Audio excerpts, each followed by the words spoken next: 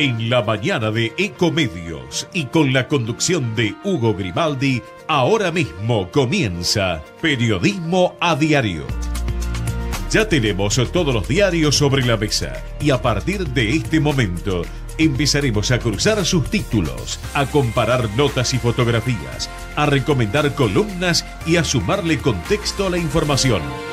Por AM 1220 y hasta las 11 le contaremos qué se dice, qué no se dice, cómo se dice y por qué.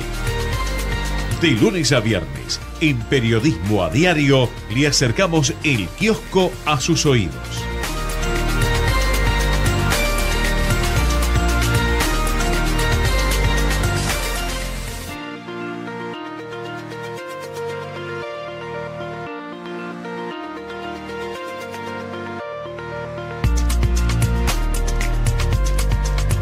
Muy bien, ahora sí, formalmente muy buenos días para todos aquí en esta edición 196 de Periodismo a Diario.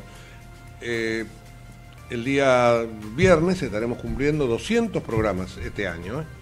No, el, el, lunes que viene, el lunes que viene 200 programas de Periodismo a Diario de este año 2017.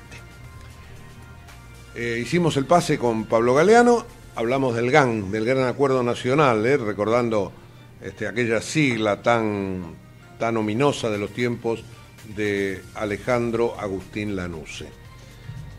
Pero más allá de lo que el gobierno ha decidido, después de tener este rotundo triunfo nacional en las elecciones, eh, ganando como ganó en todas las provincias, o casi todas, pero sí en las más grandes, e inclusive bajando algunos bastiones este, peronistas del interior, que le cambian el mapa a la reconstitución del peronismo, y estoy pensando, por ejemplo, en haber ganado en Córdoba o en Salta, fundamentalmente. Eh, esto lo deja al gobernador Uñac de San Juan mejor posicionado que ningún otro como para liderar esta reconstrucción del peronismo. Eh, bueno, hablábamos de esta necesidad que tiene el gobierno nacional, fundado en estos votos, de generar esta historia del acuerdo. Un acuerdo que va a ser muy bien visto por el Vaticano, por el Papa Francisco. No será esa mesa tripartita, esta parece que va a ser un poco más grande, pero hay que tener evidentemente mucho cuidado de no volver a fracasar. Porque si es nada más que una expresión de deseos, eh, y en esto el gobierno es el que más se juega, porque es quien llama, en este caso el propio presidente lo ha hecho, este, hay que sentarse realmente a trabajar con miras de encontrar soluciones y me parece muy bien que se haya explicitado que estas situaciones reformistas, como se ha llamado, eh, van a ser graduales, para no comprometer este, el, presente de la gente y quizás para darle un mejor horizonte hacia el futuro. Y, no solo el gobierno entonces tendrá que tener allí eh, esta vocación de acercamiento, porque es el gobierno quien tiene que administrar y que tiene que cerrar algunos frentes que tiene verdaderamente complicados. Estoy pensando fundamentalmente en el frente fiscal, eh, hay que bajar los impuestos, pero con, gasto muy alto, entonces hay que convencer, hay que convencer a los gobernadores, por ejemplo, hay que eh, convencer, y creo que va a ser así, a la gobernadora Vidal que no apriete demasiado la cuerda para sumar fondos para la provincia de Buenos Aires, fondos que sí le corresponden a los bonaerenses, y que eh, en este momento está hasta en instancias judiciales este, para ser resuelto. Bueno, todo esto tiene que ser hecho con un espíritu de consenso. Y allí en esa mesa estarán los políticos, los que quieran estar, obviamente, porque hay algunos que mm, evidentemente están pensando en otro tipo de, acercamiento hacia la realidad. Eh, después estarán los sindicalistas, que tendrán que ver toda la cuestión laboral. Allí al gobierno se lo acusa de querer hacer una reforma, que ya ha dicho que no va a ser a la brasileña para este, generar eh, complicaciones y pérdida de derechos para los trabajadores. Y así con cada uno de los sectores. Estarán los empresarios, que también tendrán que saber ceder, no todas tienen que ser para ellos. Este, después de tantos años de haber ganado plata fácil, este, muchos de ellos tendrán que acomodarse a esta realidad. Y entre todos, entre políticos, entre empresarios, entre sindicalistas, el propio gobierno, este, los opositores que quieran entrar, etcétera, etcétera, etcétera, tendrán que buscar la posibilidad de llegar a este acuerdo. Ahora, un acuerdo que reitero, no tiene por qué ser este, inmediato, pero sí con vocación de horizonte, sí mirando hacia adelante, sí tratando de aunar voluntades. Si se puede, olvidando las diferencias. Eh, y yo creo que lo que estoy planteando suena mucho a utopía, porque la Argentina ha querido hacer durante los últimos años muchas experiencias parecidas.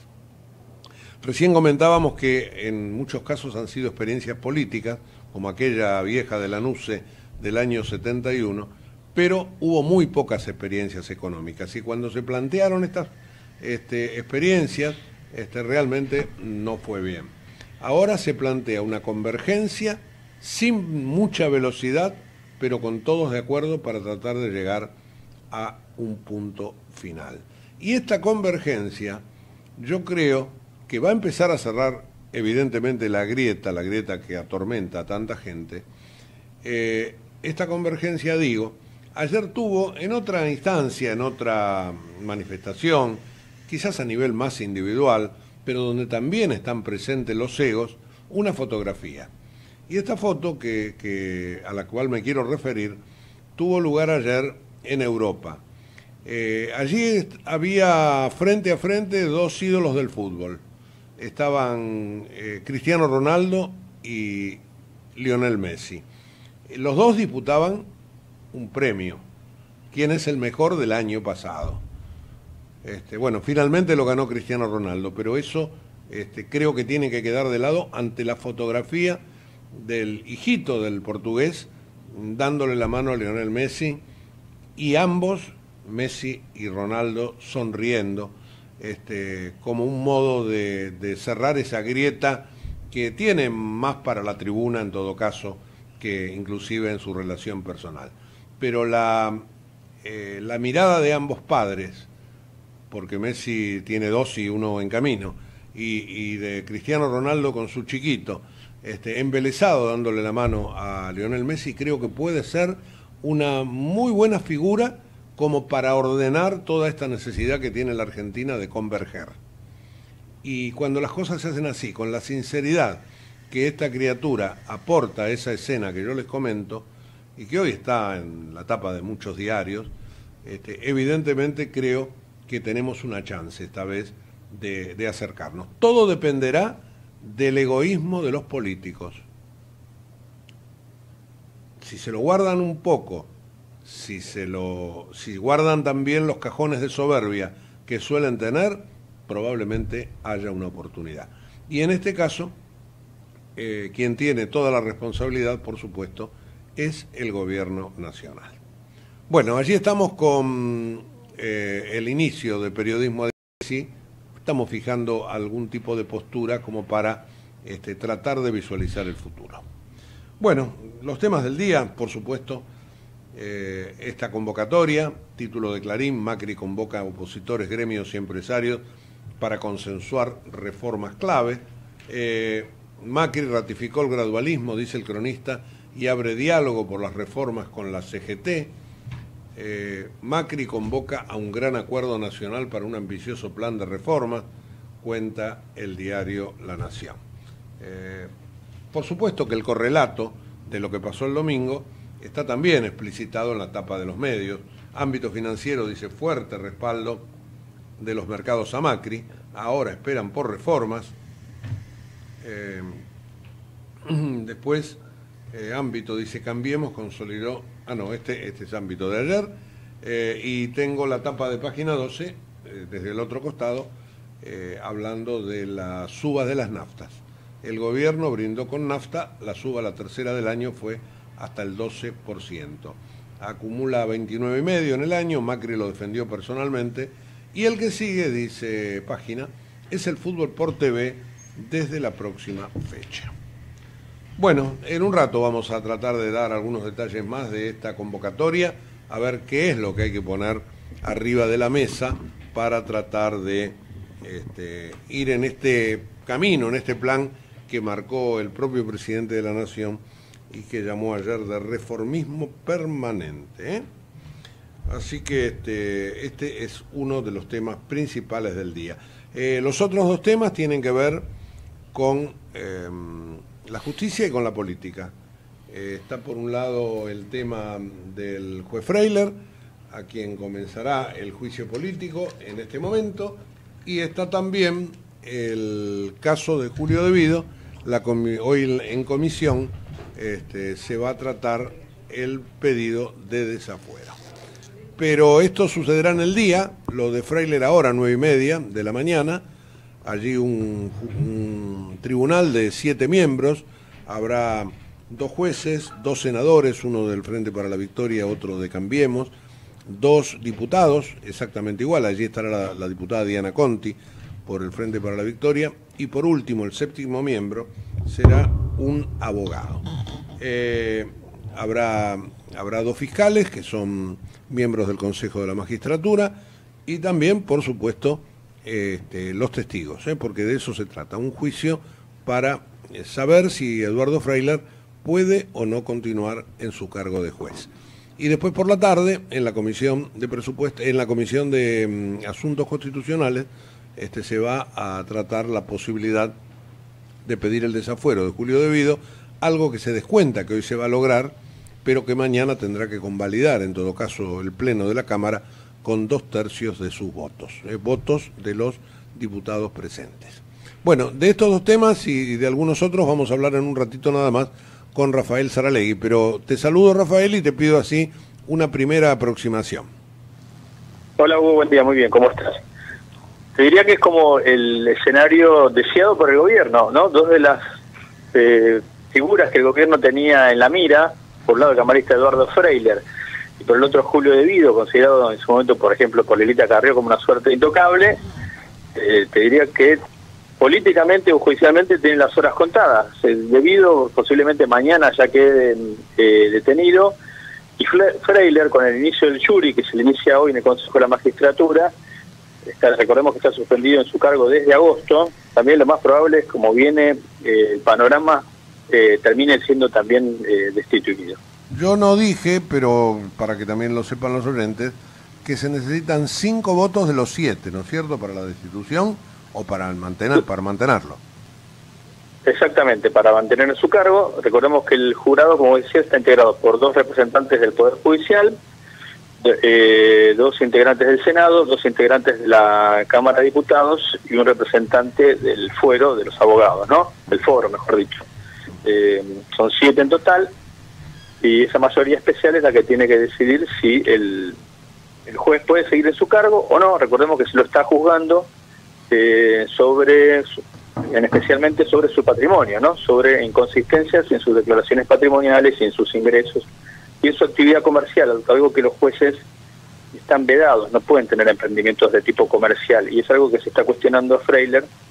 Se dice que él también tuvo alguna clase de negocio, estuvo vinculado con alguna financiera, bueno, todo eso es objeto de este de este jury. Recordemos que lo que se trata es un juicio político, ¿no? Que se eh, evalúa si puede estar en condiciones de seguir o no ejerciendo su cargo de magistrado. Bueno, lo de debido, decíamos, será hoy prácticamente un trámite porque ahí tiene mayoría el oficialismo en la comisión y mañana se verá si se pueden conseguir los votos que veremos, dos tercios de los presentes, dependerá también de aquellos que quieran ir o no ir a la, a la sesión, ¿no?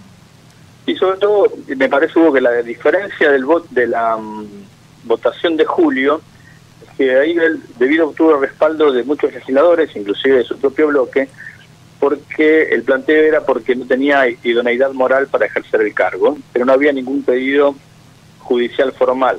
Como ahora debido tiene dos pedidos de arresto y detención o desafuero eh, cursado por dos jueces, ese es el argumento que tiene el oficialismo para decirle a los, a los legisladores que se habían argumentado, se habían escudado en esa característica de que no había pedidos de, la justicia, bueno, que ahora puedan votar de otra manera. Por eso me parece que el panorama es muy diferente de eh, lo que ocurrió en julio, pese que siguen tratándose de las mismas cuestiones, ¿no? Porque también en julio se lo había querido desaforar justamente por una de las causas que es la está involucrada ahora, que es la de Río Turbio. No tengo en claro qué pasa con el pedido de, del juego Nadío, pero el anterior, el primer pedido de los dos, que hizo el juez Rodríguez, indica que si se lo desafuera, o si se lo desafora, no, desafuera, si se lo desafuera, este, lo mete preso. Sí, porque en el mismo momento en, que Rodríguez envía el pedido de desafuero a la Cámara de Diputados, también envía un escrito al Ministerio de Seguridad notificando de esto, esto es del pedido de desafuero y de la detención, y lo ya lo le ordena al Ministerio de Seguridad que disponga las medidas para que eh, apenas se decida esto en el recinto políticamente, se disponga la detención. O sea, ahora queda en manos del Ministerio de Seguridad, ya sea la Policía Federal, la PCA, cualquiera de las fuerzas que dependen de Patricia Ulrich, que se lleve adelante esta medida que ya tiene una orden judicial. No hay que esperar que el juez, eh, una vez que se vote en el recinto del desafuero, ordene la captura. Ya está ordenada, esto está ordenado desde la semana pasada. Claro. Eh, ayer recordemos que habíamos comentado la mañana que mm, había pedido licencia debido, creo que todavía no se la concedieron, pero claro. se me ocurre que es un trámite administrativo nomás. Y después... Porque tiene que ser eh, votado también, Hugo, por ah, los legisladores. Ah, bueno. Bueno, y otra cosa que este sí se aceptó fue la renuncia a la presidencia de la Comisión de Energía, ¿no? Claro, la defensa de Dios también presentó ayer mismo eh, copia de este escrito en tribunales diciendo que si el argumento es que él puede influir en la causa justamente porque es presidente de la Comisión de Energía, bueno, que él renuncia justamente a ese, a ese cargo, lo mismo que a su condición, o por lo menos pide licencia como legislador, para que se caiga el argumento de que puede influir o hacer peligrar el expediente. Porque ese fue el argumento de la Cámara Federal.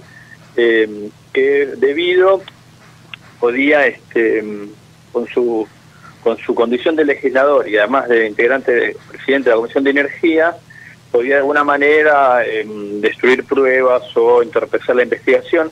Ese era el argumento entonces de la defensa de debido Rusconi para decir bueno ya si no tiene ningún cargo público no puede ejercer ningún tipo de presión. Eh, porque recordemos que lo están eh, ordenando ordenando la detención en una causa en la cual todavía debido ni siquiera fue indagado. Eso es algo que está haciendo, se diría, por lo menos en los abogados, en algún grupo de abogados que, más allá de las cuestiones políticas, se evalúan un poco más los procedimientos judiciales, eh, están notando o advirtiendo como un antecedente que se está ordenando el arresto de un legislador sin siquiera haber sido escuchado en una indagatoria, pues la indagatoria está prevista para el 28 de, noviembre. Bueno, ahí están todos los elementos que están arriba de la mesa que tendrán que poner en juego este, los diputados, aunque todo indica que esto eh, mañana tendrá resolución este, que no va a ser para nada este, grata para el propio interesado. Así que bueno, igual habrá que esperar. sí, digo, y se presume hubo entonces que con este pedido de licencia, eh, hubo, eh, debido no va a ir al recinto, no va a ir a la sesión, si ya está pidiendo una, está presentando una carta pidiendo licencia, se presume que no va a ir al recinto, con lo cual tampoco entonces se va a generar esa imagen que sería tan fuerte seguro. del arresto del exministro de Planificación en la misma Cámara de Diputados. ¿no? Seguro, seguro que no. Bueno, en un ratito seguimos punteando cosas. Eh, yo esta mañana pasé por la puerta del Hospital Subizarreta, que queda ahí eh, frente a la Plaza Arenales, en Villa Devoto, y había un montón de cámaras de televisión y, mm, camiones de exteriores, etcétera. Y después me enteré que allí está esta chiquita Lucía que había desaparecido. Así que también vamos desaparecido, sí, durante el fin de semana en, en Turdera, en el partido de Lomas de Zamora. Bueno, vamos a prestarle después atención porque la nena apareció y está allí, la están verificando su estado, su estado de salud o ya está por, por irse a su casa. Eh, más tarde tomamos ese tema. ¿eh? Este, Gerardo, chao, hasta luego. Gerardo Puig, buen día. ¿Cómo andas, su Buen día. Bueno, querido, este, eh, has vuelto a las canchas. La política te había desplazado, pero ahí vas de nuevo. ¿eh? Bueno, y hoy con un programa interesante, ¿eh? que tiene obviamente como, como eje central lo que va a pasar en el Monumental, tempranito, siete y cuarto de la tarde, así que el que vaya a ir a la cancha de River que lo haga con tiempo, diría, porque esa zona, a esa hora sobre todo, va a estar bastante congestionada. Además, claro, para salir de la ciudad por el norte, hoy se va a poner bien, pero bien bravo.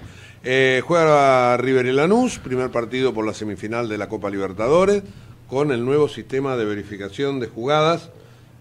Este, esta apoyatura que la Conmebol ha decidido que tengan los árbitros solo para las jugadas dudosas, pero siempre con la última palabra en manos del referido. Exactamente. siempre hay alguien a quien insultar. A quien insultar. Claro, sí. El VAR, eh, video eh, de asistencia arbitral.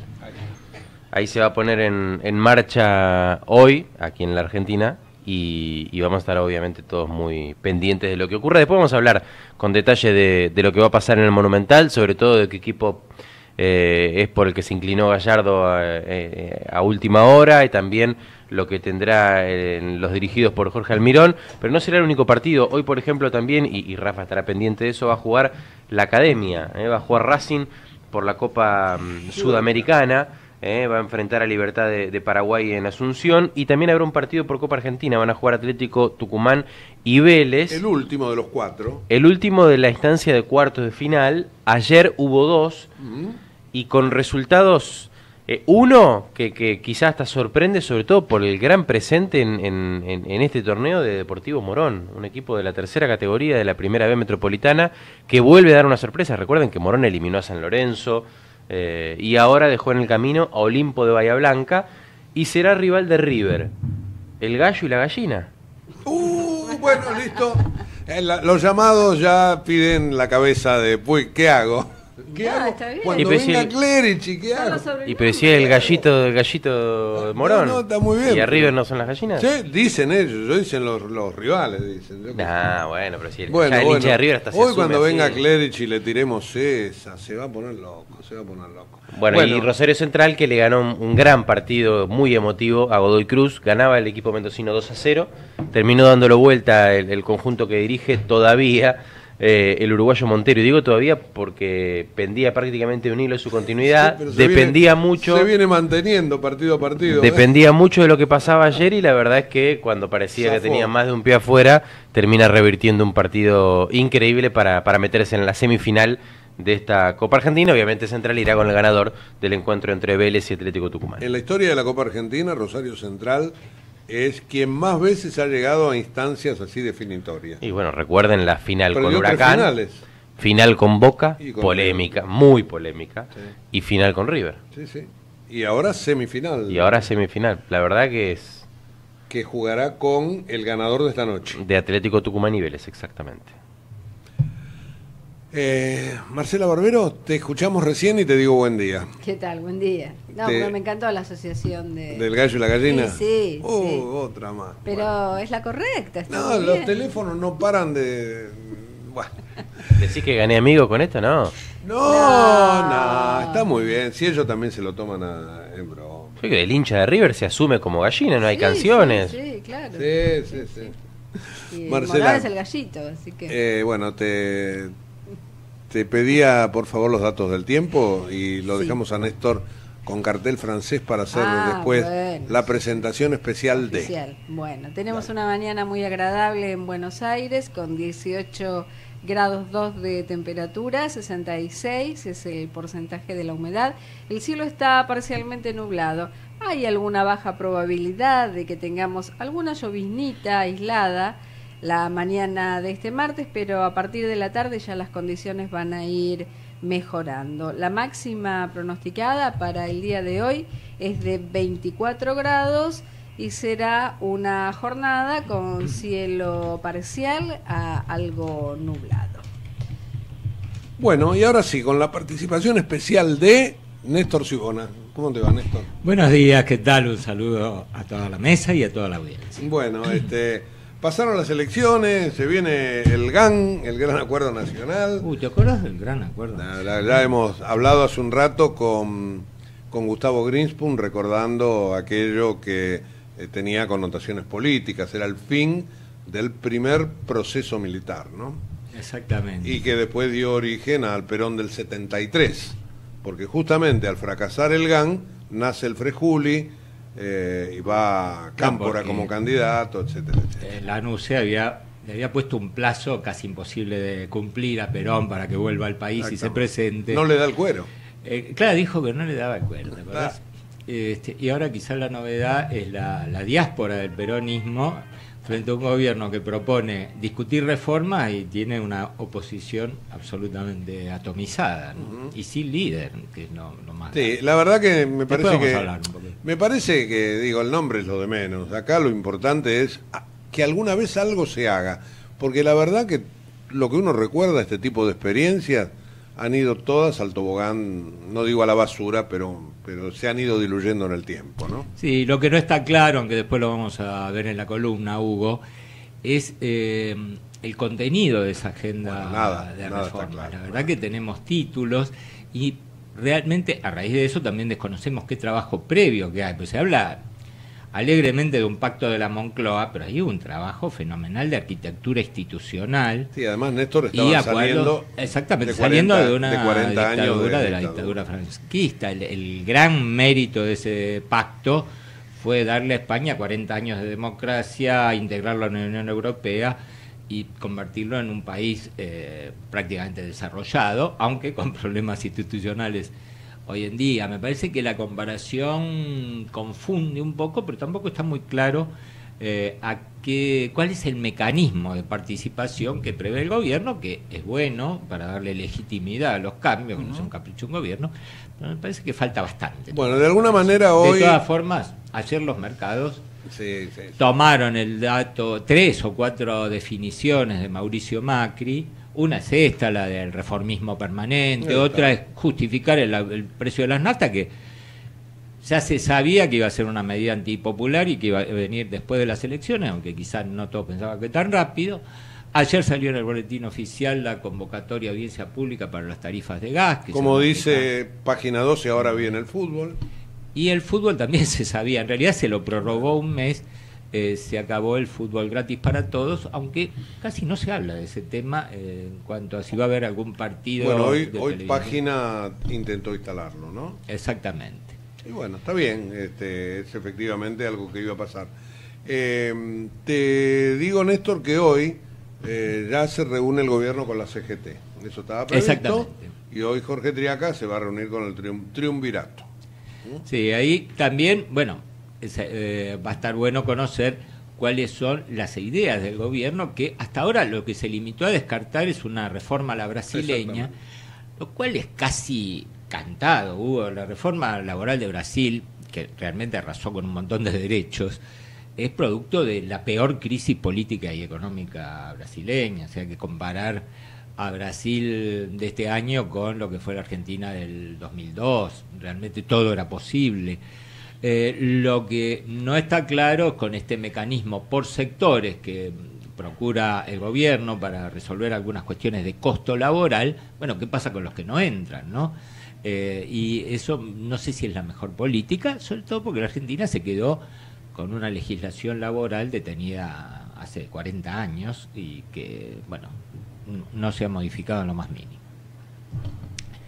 Bueno, Eh, eh, te- ¿Qué otros temas eh, desde el exterior? Una mala noticia, la decisión del gobierno de Trump de imponer un arancel extra a las exportaciones argentinas de biodiesel, lo cual a primera vista hace suponer, y ojo, que es grave esto, son mil millones, mil doscientos millones de dólares de menos de exportaciones Bueno, para una Argentina que ha vuelto a tener déficit comercial. Bueno, Quizá en pero otro momento. Deberemos pensar en buscar otros mercados, digo. bueno, de hecho la buena noticia es que se reabrió el mercado Ah, europeo, europeo. y por eso las empresas aprovecharon o están aprovechando para exportar todo lo posible con una medida similar que había sido desestimada por eh, la Organización Mundial de Comercio. Ahí la Argentina tiene una carta a favor, pero habrá que ver cómo se desenvuelve en el terreno diplomático. Bueno, eso está así como un, un gran titular. Eh, la Eh, tapa del menú, después entramos a ver. Plato por plato, pero me parece que la noticia destacada fue la reacción de los mercados con subas en la bolsa, acá en Wall Street, baja del riesgo país, baja del dólar y eh, un nivel de reservas donde eh, la Argentina ya está cómoda, aunque seguramente va a aumentar, porque bueno, el gobierno quiere adelantar las necesidades de financiamiento del año que viene antes que se complique el sector financiero externo con alguna suba de tasa en Estados Unidos. Bueno, eh, hablábamos del gran acuerdo nacional, o como se llame. Eh, evidentemente, si se logra avanzar en algunas cosas, ciertas grietas se van a cerrar. Pero yo quería mostrarles una foto con la cual inicié el programa. Ese es el gran acuerdo. La mirada de Cristiano Ronaldo y la mirada de Messi, más la perplejidad del chiquito mirándolo y dándole la mano a Messi, está mostrando que las grietas se pueden cerrar. Por supuesto que es una grieta para la tribuna, la de Messi. ya, pero siempre son buenos los gestos de buena convivencia y dar el ejemplo, porque las figuras públicas tienen esa responsabilidad, aunque crean que tienen que hacer lo contrario, ¿no? Este, llamar la atención peleándose con los demás. Bueno, hoy hay una notable el parecido del chiquito, parece una miniatura de, Cristiano. de Cristiano. Y ahí en la tapa de Clarín una, una foto parecida, donde los dos con sonrisas, etcétera, se están saludando. Eh, finalmente Cristiano Ronaldo le ganó la puja a Messi, se descontaba que iba a ser así. Sí, sí, sí, era un secreto a voces que se iba a quedar con un nuevo premio, eh, ahora ya no más, el, el, Balón de Oro es el premio de Best, eh, el premio al mejor jugador de la FIFA 2017 fue para Cristiano Ronaldo, detrás Messi, también estuvo Neymar en ese, en ese trío de, finalistas. Mucho jugador del Real Madrid que, fue premiado en el equipo ideal, Sergio Ramos, eh, eh, Modric, eh, Tony Cross, Ronaldo. La verdad que el, conjunto de la capital española ha sido el mejor claramente del último año. Por el lado de Barcelona, Iniesta y, Messi fueron premiados. Dani Alves, con pasado en Barcelona, ahora en la Juventus de, de Italia. Párrafo aparte también para el encuentro entre Maradona y, Leo Messi, ¿no? Maradona entregó el premio. Eh, después de la, de la premiación, Maradona subió una foto a su Instagram. Abro un paréntesis ahí. Está dando un show tras otro en su Instagram Maradona que se ve que se siente cómodo mostrando parte de, su vida, una suerte de reality cada vez que va a los entrenamientos con algunas escenas que son bastante particulares. Pero más allá de esto, subió una foto con Lionel Messi, una foto te diría bastante tierna en la que dice que eh, después de haberse ido de la selección, este había sido su mejor momento porque una persona como Messi le dijo que no se había olvidado de sus charlas y, ahí se ve la foto entre los dos mejores jugadores que ha dado la República Argentina. Bueno, también con pujas para, para la tribuna, para que hable la prensa. Y en su momento, sí, quizá con alguna, con alguna declaración de Maradona que, que generaba ahí un poquito de ruido respecto de, de Messi y su liderazgo en la selección, pero, pero no mucho más que eso y ayer quedó demostrado que, que, hay una suerte, una suerte de afinidad entre, entre los dos 10. Claro. Bueno, ahí estamos, con, con el fútbol, este, eh, esta relación que yo hago con la política, la posibilidad de acercamiento siempre existe, en todo, en todo. 9.45, hagamos la primera pausa aquí en Periodismo a Diario, hoy martes 24 de marzo, programa 7 de marzo, que dije, de, de octubre, eh, martes, confundí el mar de martes con mar de marzo, este, a cuatro programas de cumplir los 200. Así que el lunes que viene habrá cremona y usted se la pierde, señor. Bueno, puedo cambiar de día. ¿Quiere que le guardemos un poquito para el martes? se conserva bastante Bueno, 200 programas de este año. ¿eh? llevamos un acumulado de 660 aquí en Ecomedios. Pausa entonces. Ecomedios.com AM1220. Estamos con vos. Estamos en vos. Eco informa desde Casa de Gobierno. Luis San Martín. Día de reuniones en la Casa Rosada. Por un lado, la reunión de Gabinete Nacional que se desarrolló esta mañana con temas relacionados con las reformas que se vienen, pero además la convocatoria a las cúpulas de los movimientos sindicales eh, por parte del ministro Jorge Triaca para esta tarde a las 18 y la tradicional reunión de los días martes del ministro del Interior con los gobernadores oficialistas. Todo esto en el marco de una tendencia que ha marcado el presidente para acelerar los tiempos de gestión. Desde Casa Rosada, para Ecomedios, Luis San Martín. Amor, ¿Salimos a cenar? Yo invito. Tengo un 100% de bonificación. ¿Pero qué restaurante tiene esa promo? No, ninguno. Contratando Prosegur tenemos bonificado el servicio de alarmas monitoreadas por tres meses. Así que vamos a ahorrar y cenamos tranquilos. Este mes aprovecha la promo que Prosegur Alarmas tiene para tu hogar. Prosegur es seguridad pensada por expertos. Atención 24 horas, aviso inmediato a la policía y envío de acuda. Conoce más en prosegur.com.ar. 100% de bonificación para estar 100% tranquilo. Bases y condiciones en la web. Descarga gratis de tu celular la aplicación Ecomedios. Podés escucharnos en vivo, informarte con las últimas noticias y entrevistas en audio y video. Búscala y bajate la aplicación Ecomedios. Podés vernos en vivo en ecomedios.com. Contenidos audiovisuales. Conectate con nosotros. Línea directa 4 325 1220. Diarios y blogs, portales y noticieros, Facebook y Twitter. Para sacarle el jugo a todos los medios. Periodismo a diario por Ecomedios. Todo nació con un sueño. Soñábamos con que Argentina pudiera producir su propio acero y que ese acero fuera la base desde la cual se construirían las estructuras de edificios que tocaran el cielo de todas las ciudades de nuestro país. Acero para fabricar autos y para alambrar los campos de un país pujante. En 1942 dimos el primer paso para hacer que este sueño se haga realidad y aún hoy seguimos soñando. Asindar, Grupo ArcelorMittal. Estamos orgullosos de nuestros primeros 75 años y de todos los que vendrán.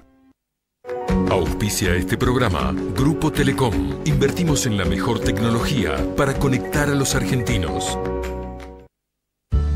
Un desayuno nutritivo, un almuerzo variado, una merienda con energía, una cena en familia y snacks en porción justa. Eso es lo que te ofrece Arcor con sus más de 1200 productos. Arcor, alimentando momentos mágicos. Un seguro de vida te permite disfrutar de la tranquilidad que solo se consigue al saberse protegido, porque cuidará a quienes más querés cuando vos no estés para hacerlo. Encontrá tu seguro en cualquiera de las compañías integrantes de Avira, www.avira.oro.ar, Asociación Civil de Aseguradores de Vida y Retiro de la República Argentina. Qué bien la hiciste, doble parrilla arriba y abajo. Y con dos chimeneas, el mejor tiraje. Frigobar anexado, mira, ¿y el matrimonio cómo viene? Más enamorados que nunca. No, pues yo te hablo del chor y el amor, sí, ese es el matrimonio. Con los préstamos personales Suba del Ciudad, tenés hasta un millón de pesos para hacerla bien. Banco Ciudad, te quiere ver crecer. La oferta corresponde a la cartera de consumo sujeto a evaluación crediticia. Consulta detalles del producto en bancociudad.com.ar. En La Matanza terminamos de entregar computadoras, proyectores, pantallas y capacitamos a los docentes para que en nuestros 236 jardines de infantes se eduque con tecnología de avanzada. Aulas digitales, robótica en secundarios técnicos, inclusión tecnológica. Pensando en el futuro, trabajamos por la educación. Municipio de La Matanza. Matanza, avanza. Llega más rápido a tu pasaje con Quiero Viajes, porque todos los consumos con tus tarjetas Galicia suman puntos. Y con solo canjearlos, podés volar a cualquiera de los destinos destacados que tenemos para vos. New York, Miami, Río de Janeiro, Santiago de Chile y muchos más. Empezá a planificar tu viaje en quiero.com.ar. Quiero requiere inscripción previa sujeto a cantidad de puntos disponibles y disponibilidad. Algunos destinos pueden requerir pasaporte y visa a cargo del turista. No incluye impuestos. La responsabilidad por la prestación corresponde al prestador. Banco Galicia solo es el medio de pago. Llegas a tu casa y tu nena tiene puestos tus zapatos nuevos que ni siquiera estrenaste. Te acordás que de chica hacías lo mismo y eso te saca una sonrisa enorme. Estar bien es lo primero. Galeno. SS Salud, órgano de control 0800 222 Salud, web sssalud.gov.ar. En Banco Macro, queremos estar con vos. Proyectemos, construyamos y progresemos juntos. Macro, tu banco cerca, siempre. Llegó Cablevisión Play. Los mejores contenidos de la tele ahora también online. Las 24 horas y desde cualquier dispositivo. Tus películas favoritas, estrenos, eventos deportivos en vivo, series y mucho más. Para ver cuando quieras y donde quieras y sin costo adicional. Ingresá en cablevisionplay.com.ar y disfruta más. Cablevisión. Cuidar el medio ambiente y contribuir a resolver los problemas de las comunidades en las que operamos son los pilares de nuestra política de responsabilidad social empresaria. Cresud, nuestro valor es la tierra. Cuando elegís un Fiat, también elegís ayudar. Porque con la compra de tu cero kilómetro estás colaborando con diferentes organizaciones que ayudan a los que más lo necesitan. Un Fiat, una ayuda. Con más de 100 años en el mercado, Ledesma es líder en los negocios de azúcar y papel. Además, produce frutas, jugos, carne, granos, alcohol y bioetanol. Ledesma, una empresa con ingenio argentino.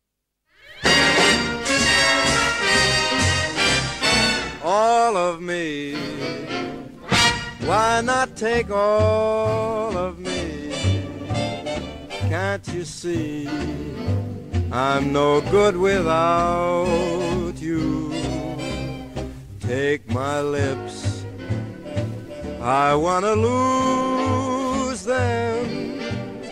Take my arms. I'll never use them. Your goodbye left me with eyes that. How can I go on, dear, without you? You took the part that once was my heart, so why not take all of me?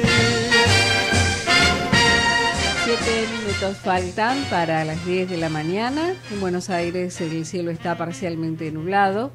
18 grados, dos décimas la temperatura, 66 el porcentaje de la humedad, la presión 1014 decimal 6 hectopascales, el viento sopla del sector norte a 9 kilómetros por hora, la temperatura máxima pronosticada para este martes es de 24 grados. Bueno, estamos este, ya en plena primavera, ¿no, Marcela? Sí, sí, plena primavera. ¿Y en el curso de la semana seguirá esto o tendremos por ahí algún Y- chaparroncito en el medio? Sí, es probable que eh, la tarde-noche del día viernes venga con alguna lluviecita aislada y eh, puede ser también la mañana del día sábado.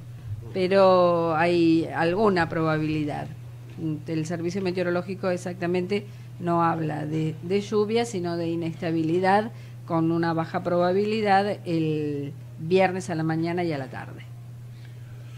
Bueno, lo que se pudo saber de esta convocatoria que hizo ayer el presidente de la Nación es que la idea que tiene el gobierno es que no sea una cosa muy formal donde finalmente el presidente Macri quede pegado. Eh, la idea es llamar a todos los sectores a una reunión que probablemente no se haga en la Casa de Gobierno, eh, probablemente se haga o en el Centro Cultural Kirchner, ahí en el ex Correo Central, o en Tecnópolis, como para darle un marco más neutral. Claro, que Y- no sea anfitrión del gobierno en la Casa Rosada. Exactamente, y- como ya ocurrió en aquella mesa redonda, ¿te acordás que habían hecho? Que fracasó estrepitosamente, si ¿Te no me equivoco, aquellos? noviembre del año pasado. Eh, sí, de- de- sí, del año pasado tiene que haber Sí, sido. claro. Eran los ocho puntos del Plan Productivo Nacional. A la basura. No se habló más. Pero no dejaría de ser una base, ¿no? Para alguna de las reformas propuestas. Tengo mm, este, para mí que el gobierno no quiere volver a... Es, decir, es verdad que nunca le gustaron estas cosas al gobierno, pero ahora tiene sentido eh, llamar al pie porque tiene 40% de los votos. Tiene el respaldo político para hacer los cambios que promete, aunque no se sabe muy bien cuáles son. No, Pero por otro lado, Hugo, hay un lapso de casi dos meses, hasta el 10 de diciembre, cuando cualquier medida se tendría que transformar en ley para darle sustentabilidad y, si es posible, en políticas de Estado.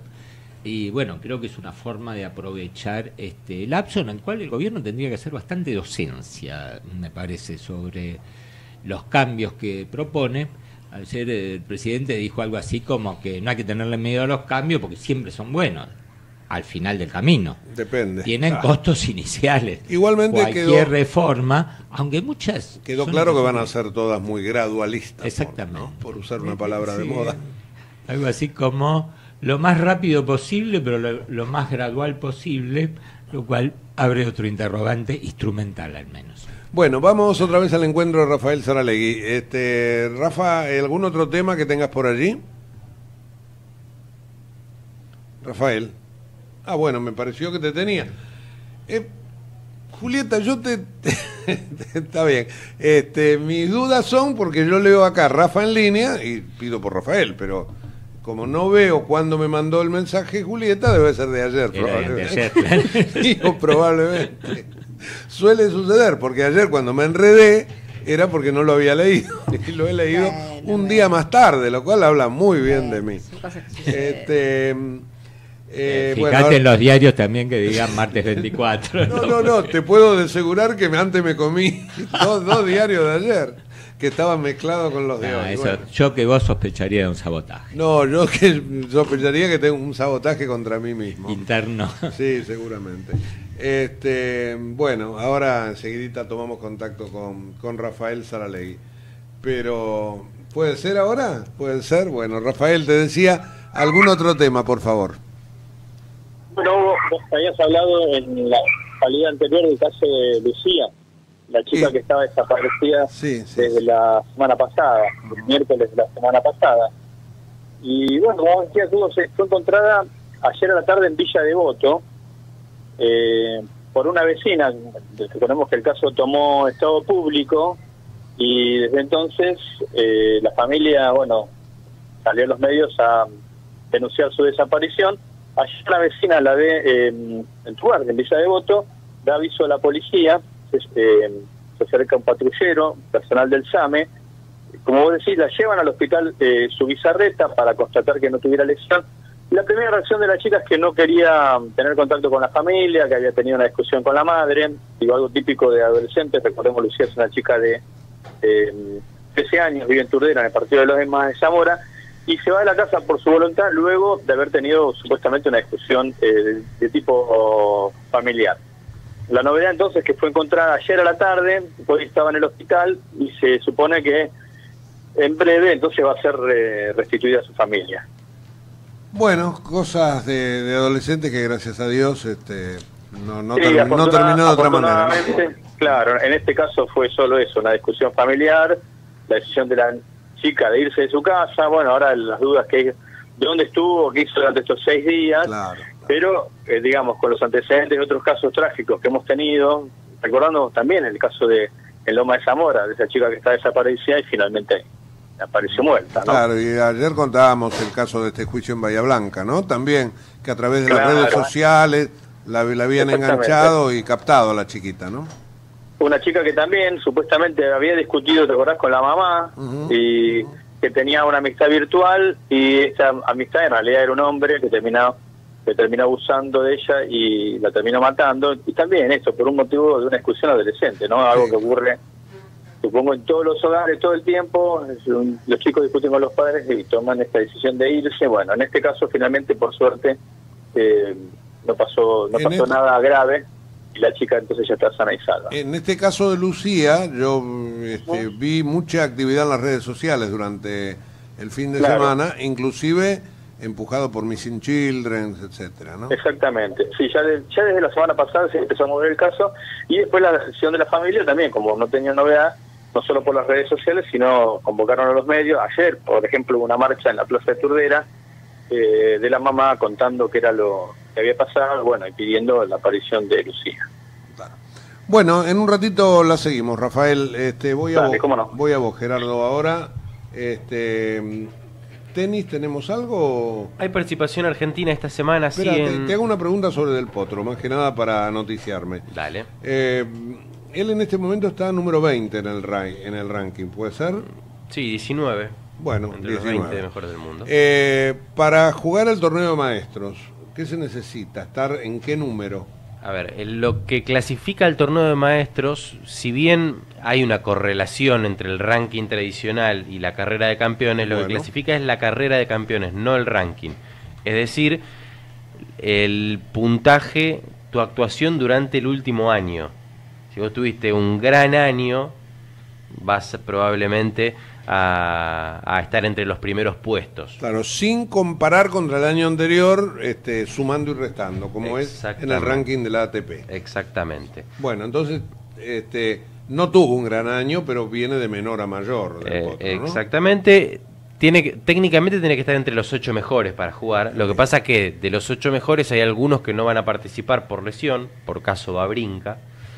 Y después vos tenés al menos dos que van a estar como suplentes ante alguna eventual lesión. Me parece que ahí está la apuesta de llegar, a, llegar entre los 10, digamos. Llegar a estar entre los 10, digamos, para tener la alternativa si alguno, como habitualmente ocurre, se baja por alguna molestia o indisposición bueno, física. Pero más allá de mi confusión, este, una más este, con respecto al, al ranking de la ATP, este, ¿se puede establecer en qué número está hoy?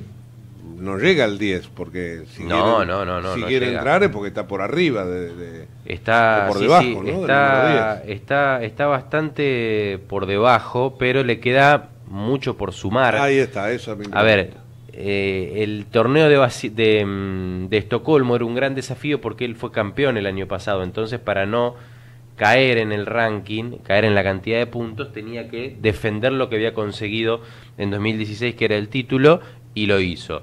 Pero después de Estocolmo, eh, Del Potro no, no, tuvo un gran rendimiento, de hecho después descansó pensando en la final de la Copa Davis que finalmente ganó con la Argentina, por lo tanto no sumó buenos puntos ni en Basilea, que es donde va a jugar esta semana, ni tampoco en el Master 1000 de París, donde no participó, París-Bercy, y es donde sí va a estar a partir de la semana que viene. Ah, es donde se juega él los puntos que le están faltando de alguna manera. Exactamente, exactamente. Del Potro, mira, en este momento en la carrera de campeones, así ah. se dice, está 14. Ah, mira. Tiene dos, faltan cuatro. Tiene 2.135 puntos. Por delante de él, Andy Murray, eh, que está 13. Bueno, ahí va, que te digo que no, depende, no tiene la misma relación que el ranking. Murray no ha podido defender una buena cantidad de puntos del año pasado por, por lesión y ya no va a volver a jugar en lo que queda del año. Por lo tanto, virtualmente ahí ya está 13, porque Murray no jugaría. Eh, Sam Kerry tiene apenas 300 puntos más que él. Digo apenas, es una buena cantidad, pero si él tiene una gran actuación, tanto esta ah. semana como en un Master 1000, que entrega 1000 puntos al ganador, se podría eh, llegar a, meter. La verdad que están todos a, tiro. Djokovic está por delante de él, Djokovic no va a volver a jugar en lo que queda del año. Ya directamente se baja. Por lo tanto ya tenés dos, Murray y, y Djokovic. Estarías 12, digamos. Estarías 12. Eh, Babrinka tampoco va a jugar por lesión. Estarías 11. Bueno, y tiene un par de jugadores todavía a los que puede, a los que puede superar. Ahora me queda claro. ¿eh? Hay que siempre preguntarle a la gente que sabe. Bueno, este, el tenis es tu pasión, por otra parte, ¿no? Me gusta muchísimo, sí. Me gusta mucho, sí. Acá Javier te pone siempre la foto de tu de tu presencia en Sevilla, en Copa Davis. Ese es, no, no recuerdo cuál es la foto. ¿No? Una que está no, contra la red. Sí. Zagreb, Zagreb. Ah, es la de, claro, la, la, del título, y hay que poner la del título. La del título, bueno. No la de la final perdida. Sí, no va a poner, claro. no sé, bueno, la del título. Pero, vos tenés que tener una en cada lugar. No, yo las tengo, yo las tengo. Ah, sí, después la vas a manejar. Hay una, hay una suerte de tradición que después de cada eliminatorio, cada serie que cubrimos, eh, vas a la cancha cuando terminó todo. Como sobre todo en la agencia, terminas de trabajar cuatro o cinco horas después de que terminó la eliminatoria y ahí vas a la cancha y tengo foto en la silla del Empire, no, después te mostraré. bueno, Néstor, este, adelantame sobre qué vas a hablar este, en tu columna. Vamos a hablar del reformismo permanente que anunció ayer el presidente Macri. ¿Cuántas cosas para reformar ahí? Una buena definición a la que hay que darle contenido. Después vamos a hablar de eso. Eh, dos temitas, Hugo. Eh, Loma Negra lanza una suscripción de acciones en la bolsa la semana próxima por primera vez para público minorista. Se puede entrar con un piso de 6 mil pesos y es una compañía que al tener casi la mitad del, mercado cementero argentino, eh, con un gobierno que le da un impulso muy fuerte a la inversión en obras públicas que requieren cemento, justamente, este, este año se batieron récord de venta, bueno, le da un horizonte interesante para la inversión. Otra noticia, aunque es para un poquito más adelante, eh, desde el 21 de noviembre, Avianca inicia sus vuelos desde Buenos Aires a Rosario y a Mar del Plata a precios promocionales. Con impuestos 754 pesos a Rosario, 863 a Mar del Plata en un solo sentido. Ahora lo llamativo es que el presidente de la compañía se quejó de las regulaciones que impiden a Bianca actuar como low cost, pero la verdad que ya sabía que existían este, cuando entró la compañía, que hizo una inversión de 300 millones de dólares en aviones Viturbo hélice nuevos. Eh, hoy el diario La Nación abre, es, inusual, pero con todos los temas políticos, hace un gran despliegue como de 15 páginas con respecto a los resultados, los comentarios. La verdad que está muy, pero muy completa la, cobertura de La Nación. Cierra en la página 18 con una nota, eh, un reportaje a Santiago Kovadlov que le hace Jorge Fernández Díaz. Muy interesante el título. Sí, eh, yo he leído algunos parrafitos internos y vale la pena, creo, leerla. El título es La opción por una alternativa desconocida. El que se vayan todos se convirtió en que venga alguien. ¿Mm? Bueno, parte del, pensamiento de Santiago Kovadlov. Y generalmente la Nación abre con, con la sección Mundo, y donde le viene prestando muchísima atención al tema Cataluña, con notas realmente soberbias. Este fin de semana este, Silvia Pisani realmente la rompió haciendo notas de escenario. Y hoy cuenta Silvia que un día antes que el Senado vote las medidas que propuso Mariano Rajoy, el Parlamento catalán podría declarar el jueves la independencia. Así que el tironeo continúa y obviamente que Rajoy y el gobierno español no este, están dispuestos a avalar absolutamente nada. Sobre todo porque están agrandados porque los catalanes no se dieron cuenta que abrieron la caja de Pandora. Bueno, o sí se dieron cuenta y por eso levantaron el pie del acelerador. Eh, fundamentalmente la razón, me parece, Néstor, que es económica eh, leí esta mañana una estadística en algún lado que se van no sé cuántas empresas por hora. Exactamente. Hoy eh, un suplemento que publica el cronista, que pertenece a la red de iberoamericana de prensa económica, refleja un informe del diario Expansión de España, que conocemos muy bien. Dice que desde el 2 de octubre 1.300 empresas trasladaron su sede desde Cataluña a otras regiones españolas. Esto significa, por eh, días hábiles, o sea, sin contar feriado ni fines de semana, casi cuatro empresas por día se van de Cataluña y esto, bueno, dejan de tributar una cada, una cada seis horas. Eh, sí, si querés, después lo dividimos. sí, pero porque yo lo había escuchado hecho también así. En, sí, viejo de manera periodístico, pero realmente es, impresionante. Y esto eh, no puede ser eh, un, algo que Puigdemont en su momento dijo que era un problema de expectativas de los mercados. Esto es eh, pérdida de tributación frente a la incertidumbre. Decíamos que si, si se independiza de España, sale de la zona euro, tienen que hasta crear una moneda, Cataluña, y la verdad que en ese sentido siempre el capital es cobarde, se va ante el menor atisbo de, Digamos que esto no significa que las empresas se han retirado de Cataluña, trasladaron su sede. ¿Mm? Pero eso cuando menos te significa una pérdida de impuestos local. De tributación, claramente, claramente. Bueno, ahí está el tema catalán, entonces, este, que queríamos abordar. Nos vamos a hacer una pausa aquí en Periodismo a Diario, 10 horas 11 minutos. En este momento, cuando volvamos, Marcela, vamos a atender también al pronóstico día a día. Muy bien. De aquí hasta el viernes, si no me equivoco, ¿no? Hasta el viernes. Bueno, dale. Desde Buenos Aires, transmite LRI 224, AM 1220, Ecomedios. Descarga gratis de tu celular la aplicación Ecomedios. Podés escucharnos en vivo, informarte con las últimas noticias y entrevistas en audio y video. Búscala y bajate la aplicación Ecomedios.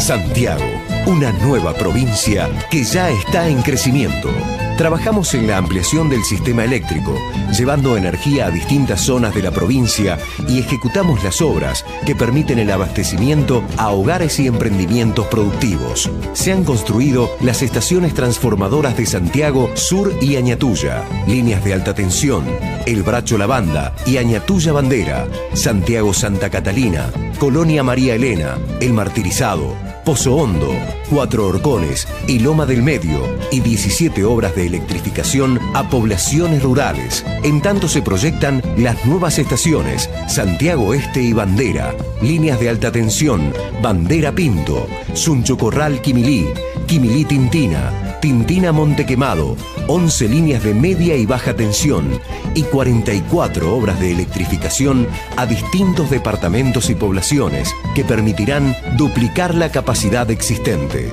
Se construyeron 72 kilómetros de nuevos gasoductos que permitirán a más de 24.000 usuarios el acceso en forma directa a esta fuente de energía.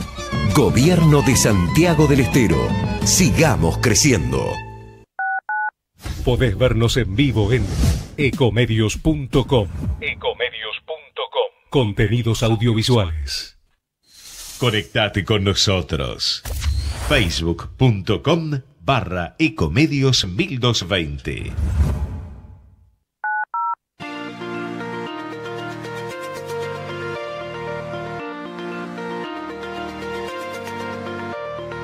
Ahora mismo volvemos con Periodismo a Diario por Ecomedios con Hugo Grimaldi y un equipo de periodistas de primerísimo nivel.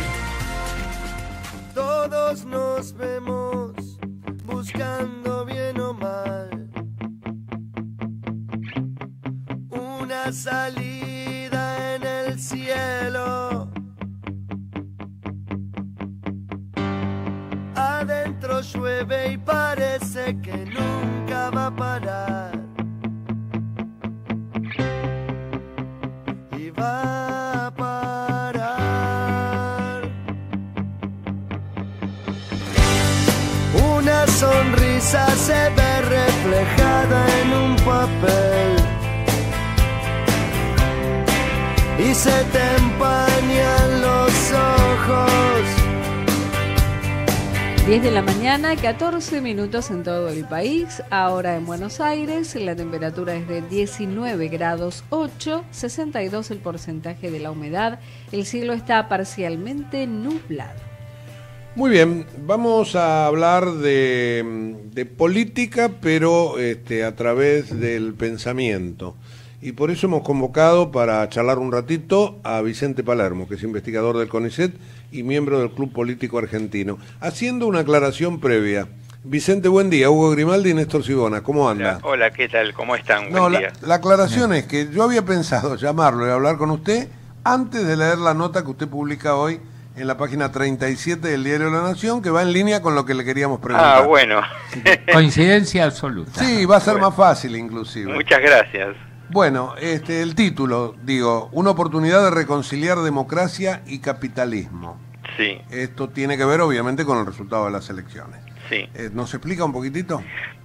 Bueno, eh, yo creo que eh, tiene que ver con, es decir, el resultado es, es como un, se puede tomar como una aprobación a dos años de gestión, digamos, ¿no? O sea, la- la- las elecciones de término medio como esta, eh, el electorado tiene la oportunidad de decir, bueno, vamos por buen camino o no. Siempre es un resultado, hay votantes de, eh, para todo, digamos, ¿no? Pero me parece que el gobierno conqui- eh, obtuvo, digamos, un- resultado expresivo, 40% del, del, electorado. Significa, lógicamente, que hay un 60% que prefiere otras alternativas por un motivo o por otro, pero es muy expresivo y le da al gobierno una capacidad ejecutiva importante, digamos, ¿no? Ahora, esto yo lo interpreto como, eh, ya lo dije, un, eh, un espaldarazo a una gestión realizada, digamos, ¿no? O sea, son dos años de gobierno, dos años de gobierno difíciles por parte de un elenco nuevo, ¿no? Eh, que se lo acusaba de un montón de cosas, este, yo creo que se lo, se lo acusaba sobre todo a partir de los prejuicios, ¿no? y bueno, me parece que el, resultado indica que hay una oportunidad de hacer algo nuevo, digamos, de, intentar eh, imprimirle a la Argentina un curso de acción más constructivo que yo llamo reconciliar el capitalismo y la democracia, digamos, porque sin capitalismo no hay prosperidad eh, en la Argentina. La Argentina necesita convertirse en un país capitalista, digamos en serio, eh, y sin democracia no va a haber distribución, no va a haber ninguna posibilidad de cerrar eh, la brecha social que hay, de poder eh, incluir a, lo que por ahora es un terrible 30% de pobres, ¿no? Entonces la política tiene un papel, tiene el papel de conciliar en una tensión muy, muy difícil, algo que no es nada fácil de conciliar, el capitalismo con la democracia. O sea, ese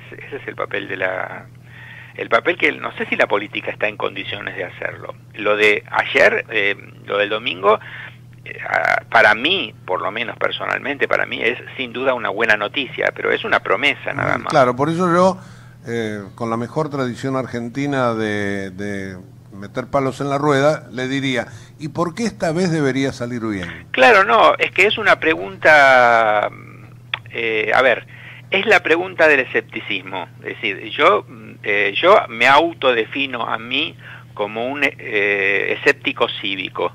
No creo que las cosas vayan a salir bien, digamos, por, pienso a partir de la historia, a partir de las dificultades, eh, pienso solo o en diálogo con gente más o menos con la cual puedo dialogar de distintas posiciones y entonces digo y no eh, una vez esto no va a salir bien esto no puede salir salir bien y eh, la, la, segunda parte de mi autodefinición es la cívica. Voy a hacer todo lo posible para que esto salga bien. Voy a trabajar políticamente, culturalmente, para que esto salga bien, eh, salvando las eh, enormísimas distancias, enormísimas distancias con la pluma, no con la espada, pero sí con la palabra, para decirlo en términos de... No, no me estoy equiparando, por favor, a Sarmiento, pero lo que estoy diciendo es que es un ejemplo, ¿no? Eh, Sarmiento no era una persona que digamos, que tuviese una fe ciega en, el, en el porvenir. Tenía la fe de su siglo, que no es la, la, la nuestra, nuestro siglo nuestro, nuestro, nuestro siglo es bastante postmoderno, bueno, no creemos... Yo la verdad es que sin este, estar imbuido de ninguna fe, hago todo lo posible para contribuir y me parece que eh, desde las distintas posiciones eh, tenemos que hacer eso, digamos. ¿no? sí, nosotros veníamos diciendo, Vicente, en estos días que es hora que la Argentina empiece a mirar para adelante, porque la verdad que del pasado hay tan pocas cosas para rescatar, sobre todo desde el punto de vista institucional, de, pérdidas de oportunidades, incluso de desarrollo del país, que bueno, hay que empezar a, ver cuáles son los problemas y cómo resolverlos sin ponerle una etiqueta antes que lo frene. Pero eh, de todas formas, eh, no estamos, el, gobierno realmente recibió un gran espaldarazo en, la, eh, en las urnas para llevar adelante cambios que solo están insinuados, no tienen en efecto tienen título pero no contenido, digamos así. Sí. Eh, ¿Cómo, ¿Cómo instrumentarlo esto? Bueno, eso Porque hay un problema de representatividad de interlocutores y bueno, pero eh, es así, pero la, los mandatos ejecutivos son un poco así. Es decir, la gente, los, los ganadores reciben un mandato que tienen que administrar con, con cuidado, porque por un lado ese mandato tiene una parte de discrecionalidad, tiene una parte de decir, bueno, vamos a llenar de contenido esto, vamos a llenar de contenido y vamos a afectar intereses, vamos a entrar en conflicto con algunos sectores. Si no entramos en conflicto no lo vamos a poder hacer. Y si no distribuimos costos no lo vamos a poder hacer. Y ahí parte de la gente que votó se va a quejar. Pero eso, mm, digamos, e-, eso tiene que ser así, no, no hay eh, remedio yo diría que la, la representación política es un poco así, cuando es buena, cuando es mala ni hablar, digamos, ¿no? O sea, ya pasan cosas horribles, pero cuando es buena es un poco eh, una mm, que, eh, se da una investidura, digamos, de un poder, por lo menos un poder que tiene que ser limitado y además tiene, tiene que ser limitado en el tiempo, pero es un poder de realizar que de alguna manera impone un camino o impone ciertas decisiones, impone distribución de, costos, eh, impone la, elección de adversarios. Y la gente dice, Ay, pero yo, yo voté para que, bueno, sí, está bien, pero ¿no? votaste y votaste esto de, de alguna manera, de, bueno, no sé, pensalo, la próxima vez no votés, vota por otro, qué sé yo. Pero esa, esa, esos riesgos políticos hay que tomarlos. Uno no puede Mm, gobernar leyendo las encuestas todos los días y pendiente de, de, las encuestas todos los días. Gobernar es otra cosa.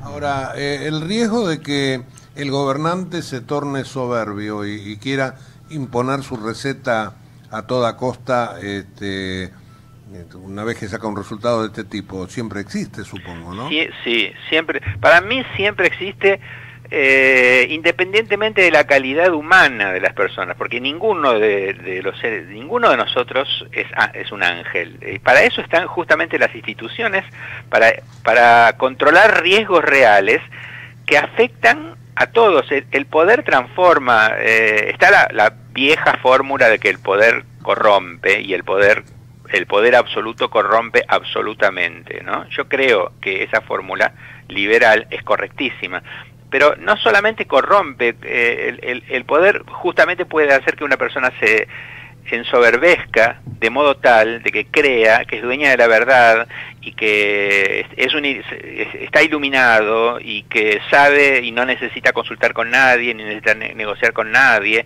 Entonces eh, o que se o que se puede rodear de un entorno político que lo, deje blindado al acceso de cualquier demanda o, cualquier pedido de, defensa de intereses.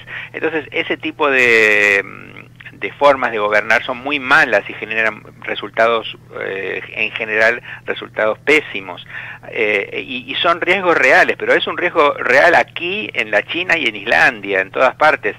Eh, lo único que puede controlar eso es eh, lo único que puede mm, eh, morigerar esos peligros o atenuarlos o ahuyentarlos eh, totalmente, según el caso, son por un lado las instituciones y por el otro lado la responsabilidad cívica que tenemos todos de cuidar, de vigilar, de estar atentos. Por eso yo ahí en el artículo me meto con Lilita y digo, bueno, por un lado es malo, digamos que Lilita haya sido plebiscitada, y por el otro lado es bueno porque es la única contrafigura que tiene, que, tiene Macri. Y no es que esté desconfiando de Macri, no es que esté pensando, uy, Macri se va se le va a subir, digamos, el poder a la, a, la, cabeza, va a dejar de escuchar.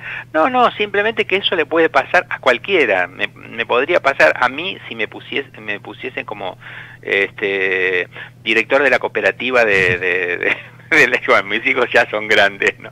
Pero, ¿me entiende? No, Ahora, eh, Vicente, usted señala en la nota que, bueno, al no haber una mayoría en el Congreso, bueno, todo acuerdo que se logre para sancionar leyes le va a dar mucha más legitimidad. Ahora, ¿cuál sería la base del acuerdo? Porque, ojo, yo creo que este cuadro le mejora muchísimo la gobernabilidad a Macri, pero en el año 2016, con más minorías, digamos así, este, eh, el Congreso sancionó como 80 leyes, aunque en muchos casos esa negociación era cambiar eh, fondos con votos, por votos, ¿no? Ahora, eh, ¿cuál sería? Bueno, la, votos en el Congreso, me refiero. Sí, el mecanismo, por un lado, el mecanismo durante, durante el periodo más productivo de la, del, del Poder Legislativo, descansó, yo diría, en la relación entre el Ejecutivo a través de Frigerio y los gobernadores. Es decir, los gobernadores tienen un poder, un, cierto poder sobre las bancadas provincial, las bancadas de sus provincias, en teoría no son bancadas de sus provincias, hay una sola bancada que es la bancada nacional del partido. En la práctica, los eh, los diputados salteños o los diputados formoseños o los diputados chaqueños o lo que sea toman en cuenta las posiciones de la provincia y las posiciones del, Ejecutivo, del, gobierno, del, gobernador de, las provincias. Entonces, eh, ese mecanismo funcionó, ese mecanismo funcionó. Y yo creo que va a seguir funcionando porque los gobernadores están relativamente débiles eh, bueno, recibieron unos cachetazos, ¿no? Eh, están aturdidos y van a demorar en recuperarse. Y me parece que, sobre todo, va, va, va, a seguir funcionando si el gobierno no les quiere imponer las cosas. Si el, si el gobierno sigue teniendo paciencia democrática y disposición negociadora y decir, bueno, está bien, pero no, pero el problema es así, esto, o sea, no, eh, pongamos por, por caso, eh, la reforma laboral tiene que haber, macanudo, pero no te voy a imponer el paquete, vamos a negociar, vamos a, ne a negociar, pero en el marco de una dirección determinada, pero negociar, entonces no es lo mismo, entonces eh, eso me parece que eh, es, eh, el espíritu de, de, de, negociación, de evitar el unilateralismo, ¿no? Me parece que es fundamental. Eh, la última, Vicente. Bueno. Creo que la nota no, no está, pero mm, quiero plantearlo porque es de, de, mucha, de mucha actualidad. Al gobierno le cuesta mucho deshacer las operaciones que le generan este, ruido en contra. El caso de Maldonado fue un ejemplo mm, tétrico, lamentablemente pero hoy por hoy se está diciendo, este, bueno, este gobierno va por todo, va por los jueces, va por debido, etcétera, etcétera. Digo, ¿tiene modo el gobierno de mostrar que en realidad se está, este, está siguiendo lo que marca la, la Constitución y la ley? ¿O en realidad este, va a estar siempre sometido eh, como otros gobiernos también le ha pasado a los vaivenes, ¿no? Va a estar siempre sometido al escrutinio público, al escrutinio público que es eh, intemperante, eh, impaciente, y es así, es decir, yo a veces escucho los programas de televisión, me, me, mi novia me los hace, me obliga a escucharlos, eh, porque yo no escucho televisión, pero ella me obliga. Los programas de televisión a la noche este, y me realmente me da ganas de agarrar el, tele, el, televisor y tirarlo por la ventana, pero bueno, este, el televisor es de ella, así que no lo puedo hacer. Eh, pero hay como una, fa, una un facilismo mezclado de impaciencia, mezclado de, la, pro, la, propia soberbia periodística, eh, de intemperancia, de, es, una cosa, digamos, eh, una suficiencia muy irritante. A mí me parece que ese, ese, ese ese eh, es medio medio yo diría que es medio de entre tilingo y banal digamos no eh, me, pero me, pero el gobierno debería preocuparse para contrarrestarlo sí el gobierno debería preocuparse yo diría en dos niveles. Por un lado haciendo las cosas bien o sea ajustándose y pudiendo decir ven miren nosotros tenemos un comportamiento. Y por otro lado, argumentando, claro, sí, la argumentación política, el gobierno a veces la descuida, descuida la argumentación uh, política. Sí, a, sí. a, eso me refería. Sí, sí, estoy de sí, acuerdo. Y sobre todo el estilo de comunicación por redes sociales lo, lo simplifica demasiado, ¿no? Eh, eh, hay que convenir que le dio buen resultado, pero me parece que eh, se necesita más sustancia, ¿no? Para... El problema, claro, el problema es que las redes sociales nos digamos, raramente sirven para la argumentación, es decir, sobre todo cuando son masivas, es muy difícil argumentar en las redes sociales. Y entonces si el gobierno cree que eso solo alcanza, me parece que se equivoca, digamos, ¿no? Se equivoca porque eh, eh, eso, bueno, es como descuidarse porque vas ganando 2 a 1 o 3 a 1 y de repente te hace un, un golazo de media cancha. Entonces ahí ¿no? Te tenés que poner a pensar qué, qué hacer. Entonces, eh, las redes sociales, me parece, yo tengo, bueno, tengo Facebook, no, el mundo de Twitter no lo conozco bien, pero por lo que me cuentan, no se puede argumentar ahí, es decir, es, es, una fugacidad este, eh, verbal eh, y de imágenes eh, extraordinaria que me parece que no, no, no ayuda en general al pensamiento, digamos, ¿no? Entonces, me parece que la argumentación política eh, es importante. Yo recuerdo, a ver, eh, de otras presidencias, de, en la presidencia de Alfonsín, en la presidencia de Menem, por ejemplo, ¿no? Inclusive en la presidencia de los K, aunque me parece que menos, pero había grandes argumentadores políticos, digamos. Es decir, gente que salía, es decir, un tipo como Corach, por ejemplo, Carlos Corach. Bueno, Aníbal Fernández. Sí, eh, pensé en Aníbal Fernández cuando dije la, la, presidencia de, los K, pero no, no me convence del todo. Pero no importa. Vamos a César Karolaski para Claro, claro. Eran, eran, eran tipos que argumentaban, ¿no? que discutían con los, con los. Eh, tenían la paciencia de discutir con los periodistas eh, de otra manera y convencerlos, o si no convencerlos, por lo menos plantearles el, un argumento y dejar que, que la gente sacara sus propias conclusiones. A mí me parece que eso es importante. Lo podría hacer Marcos Peña, está en condiciones, pero lo hace poco, digamos. está ocupado en otras cosas y lo hace poco. Eh, Vicente, gracias por haber conversado este ratito con nosotros. No, ¿eh? gracias a ustedes, muchas gracias. Digo, para que no nos metan la bolsa de los periodistas.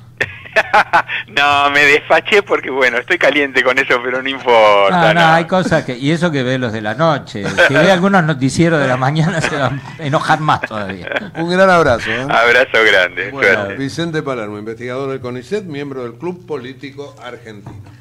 Eh, Néstor, tu columna la tenemos pendiente todavía, ¿te parece? Pero si querés, completamos una deuda o cubrimos, saldamos una deuda, porque dijimos que hubo una muy buena reacción de los mercados, no solo al resultado electoral, sino a las palabras de Macri, esa tempranera conferencia. Hoy creo que el cronista, por ejemplo, lo, pone en números, en tapa, dice: la victoria oficialista provocó la caída del dólar, 14 centavos. Eh, y las acciones argentinas treparon 8% con Wall Street, son los dos títulos de tapa. Exactamente. Ámbito financiero también titula Fuerte respaldo de los mercados a Macri, ahora esperan por reformas. Y da este punteo que, vamos a hacer rápidamente, eh, el Merval, que venía de una racha de fuertes subas que, y una pequeña toma de ganancias antes de las elecciones, que se suponía que se podía profundizar, en realidad terminó subiendo 2, casi 3%, 2,98 había llegado a 4. Y como vos decís, los ADRs en Wall Street subieron todos hasta 8,5% y quizá dan un perfil del tipo de políticas que esperan en el exterior después del triunfo electoral y que se renueva el, se renueve el Congreso. Eh, las acciones que más crecieron fueron, eh, por ejemplo, las de IRSA, las de Telecom, las del Banco Macro. Y eh, la otra noticia, eh, que el riesgo país retrocedió al nivel más bajo de los últimos 10 años, desde noviembre de 2007, que no estaba en torno de los 331 puntos básicos, lo cual la buena noticia es que le abarata el costo de endeudamiento externo a la Argentina y quizá por eso el ministro de Finanzas sale a colocar deuda anticipadamente para cubrir necesidades del año que viene. El dólar, bueno, todos los diarios dicen que retrocedió, aunque con respecto a una cotización que el viernes se había empinado. Claro, previo y si uno mira el cierre de ayer, 17.66 eh, para la venta, 17.20 para la compra, está prácticamente en un poquitito más arriba del nivel del jueves pasado, antes de las elecciones. El blue eh, quedó alrededor de los, eh, por encima de los 18 pesos, 0,7, eh, similar a lo que es la cotización a futuro para fin de año, y las reservas treparon a 51.968 millones con una liquidación la semana anterior más bien estable de los exportadores de cereales, 342 millones de dólares que totalizan en lo que va del año 18.400, pero leí este fin de semana que el campo está reteniendo alrededor de no menos de 6.000 millones de dólares en exportaciones de soja. Bueno, y para complementar, digamos que hoy se esperan este, algunos índices, el INDEC creo que tiene que dar a conocer el EMAE, Hacienda va a dar a conocer el déficit, algo que muy importante. está casi descontado que se van a cumplir las metas de reducción del el déficit primario. Recordemos que siempre hay que distinguir primario, que no incluye los intereses de la deuda, y el déficit financiero total, que sí los incluye. Bueno, el gobierno programó metas bastante holgadas para los primeros tres trimestres, de manera de que le quede un colchón para cerrar el año, que es cuando eh, más aumenta el gasto por cuestiones estacionales y de saldos impagos. Y esta noche también, más esta tarde noche, tendremos el tema de las tasas del Banco Central, ¿no? Como todos los martes, tiene que fijar, este, no es supermartes, pero... No es supermartes, no, es un martes común. Claro, claro. Creo que quedan ahí donde están, en ese 26,5%. Bueno, vamos a hacer una pausa y después sigue entonces este, tu comentario económico. ¿Cómo no? La economía de cada día y lo que...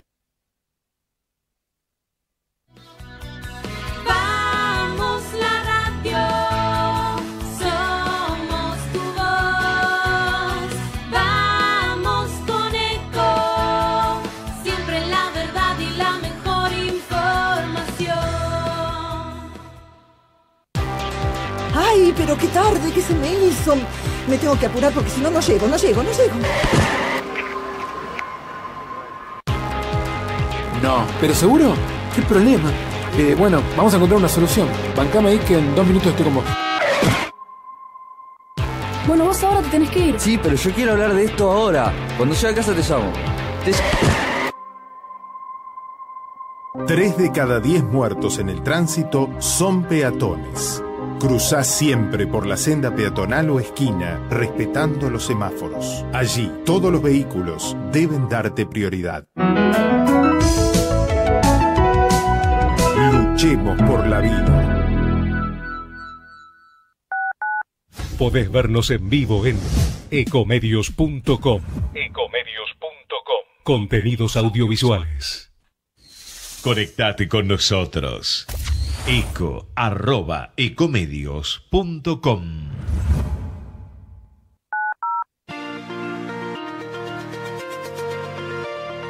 Los hechos y personajes sueltos en los diarios dicen muy poco. En Periodismo a Diario ponemos en contexto la información para darle valor agregado a las noticias.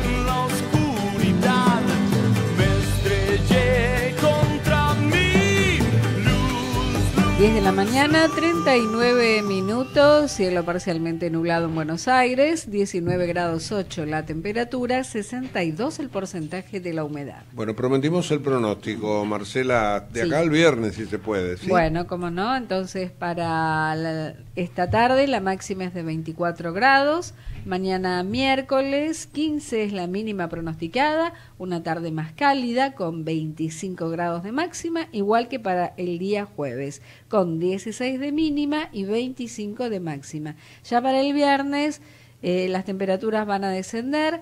Recuerden que hay alguna baja probabilidad de precipitaciones, 15 la mínima pronosticada, la máxima rondará los 21 grados con inestabilidad la tarde y noche de ese día.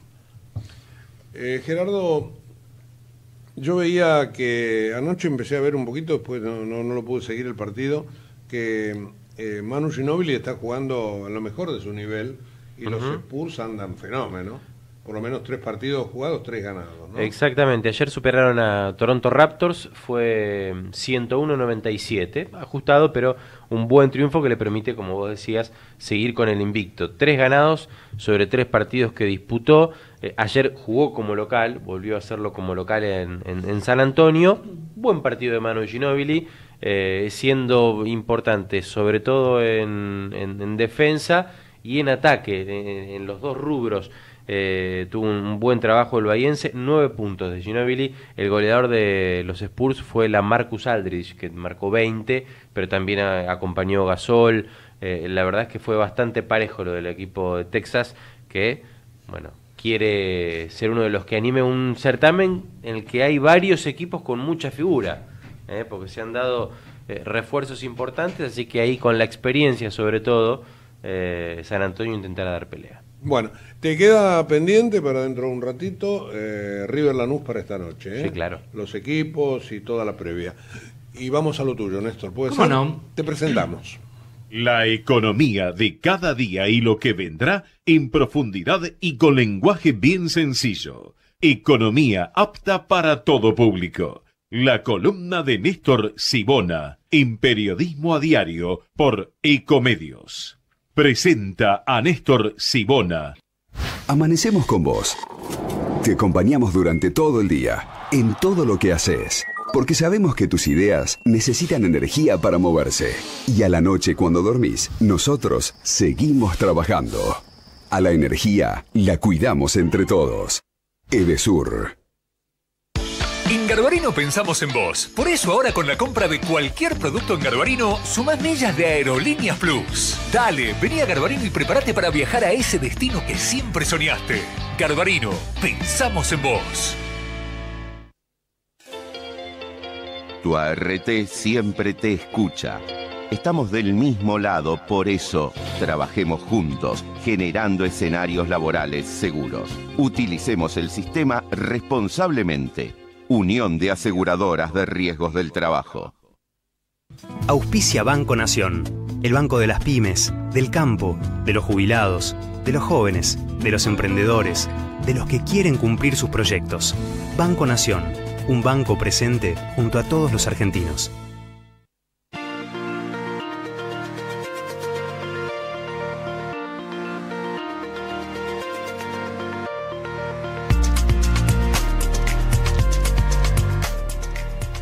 Presidente Macri oficializó ayer el término de reformismo permanente, que es el título de esta columna, y además un concepto que ya había dejado trascender en la Casa de Gobierno antes de las elecciones y que creo que es un hallazgo, pero que hay que acotarlo. Un reformismo permanente yo creo que abarca más a la amplitud de las reformas que necesita la Argentina que a un proceso continuo que nunca termina, porque eh, ahí podemos llegar a tener problemas. Todo puede estar en revisión y no sería una buena noticia. Así que asumamos la primera parte porque hace una semana, no más allá, decíamos la cantidad de reformas que tiene pendiente la Argentina hace que sean más lo que hay que cambiar que lo que hay que dejar como está. El gobierno, repasemos rápidamente, eh, se propone luchar contra la pobreza, contra la corrupción, contra las mafias. Eh, en el plano de leyes, eh, hacer una reforma del sistema electoral, incorporar la boleta electrónica o al menos la única, eh, la reforma judicial para activar el Consejo de la Magistratura y eh, mover a los jueces que en lugar de aplicar eh, la ley aplican su ideología o su militancia, una reforma educativa, una reforma de fiscal con una ley de responsabilidad para la nación y las provincias, tributaria, laboral, seguir con, eh, al menos para fijar prioridades de infraestructura, porque las necesidades son enormes. Bueno, y todo esto, someterlo a este eh, gran acuerdo, como llamó ayer Macri, eh, puede ser complicado de, de darle forma, se me ocurre. Porque yo dividiría estas reformas en dos categorías, las que tienen que ver con reformas institucionales, tanto como para poder encuadrarlas, y las que tienen que ver con todo eso que hace eh, que el costo argentino hace que la competitividad de la economía sea muy baja y como tantas otras veces el gobierno diga no vamos a, a, eh, a ser más competitivos devaluando porque eso trae millones de pobres que es uno de los grandes problemas de la Argentina pero este, lo escuchamos tantas veces que ese escepticismo que hablábamos recién con Vicente Palermo, este, en buena medida se justifica cuanto más edad tenés. Eh, por otro lado, Hugo, yo eh, también en el diario La Nación hay una nota muy interesante, dos páginas más allá de la nota de Palermo que firma nuestro colega amigo Pablo Mendelevich. Se titula La fatiga ideológica también votó y hace un contraste entre lo que vivimos en la, entre comillas, década ganada y la fórmula de Macri para este, haber obtenido el triunfo de alcance nacional que lo posiciona claramente para un segundo mandato, sí, eh, a fin de 2019. Eh, ¿Qué es lo que dice Mendelevich? Que la fórmula de gobierno se aleja de toda épica, de todas grandes este, eh, gestas, y se basa en dos, dos grandes conceptos. Este, vivir cada vez un poco mejor y sí se puede. La verdad que si uno lo mira, eso le dio resultado. Ahora, el problema es que cuando hablamos de reformas, hay títulos con los que, como los que yo recién enumeré, que estamos todos de acuerdo, con los objetivos probablemente estemos de acuerdo, pero hay que darle contenido, hay que darle instrumentos. ¿Cómo va a ser cada una de esas reformas?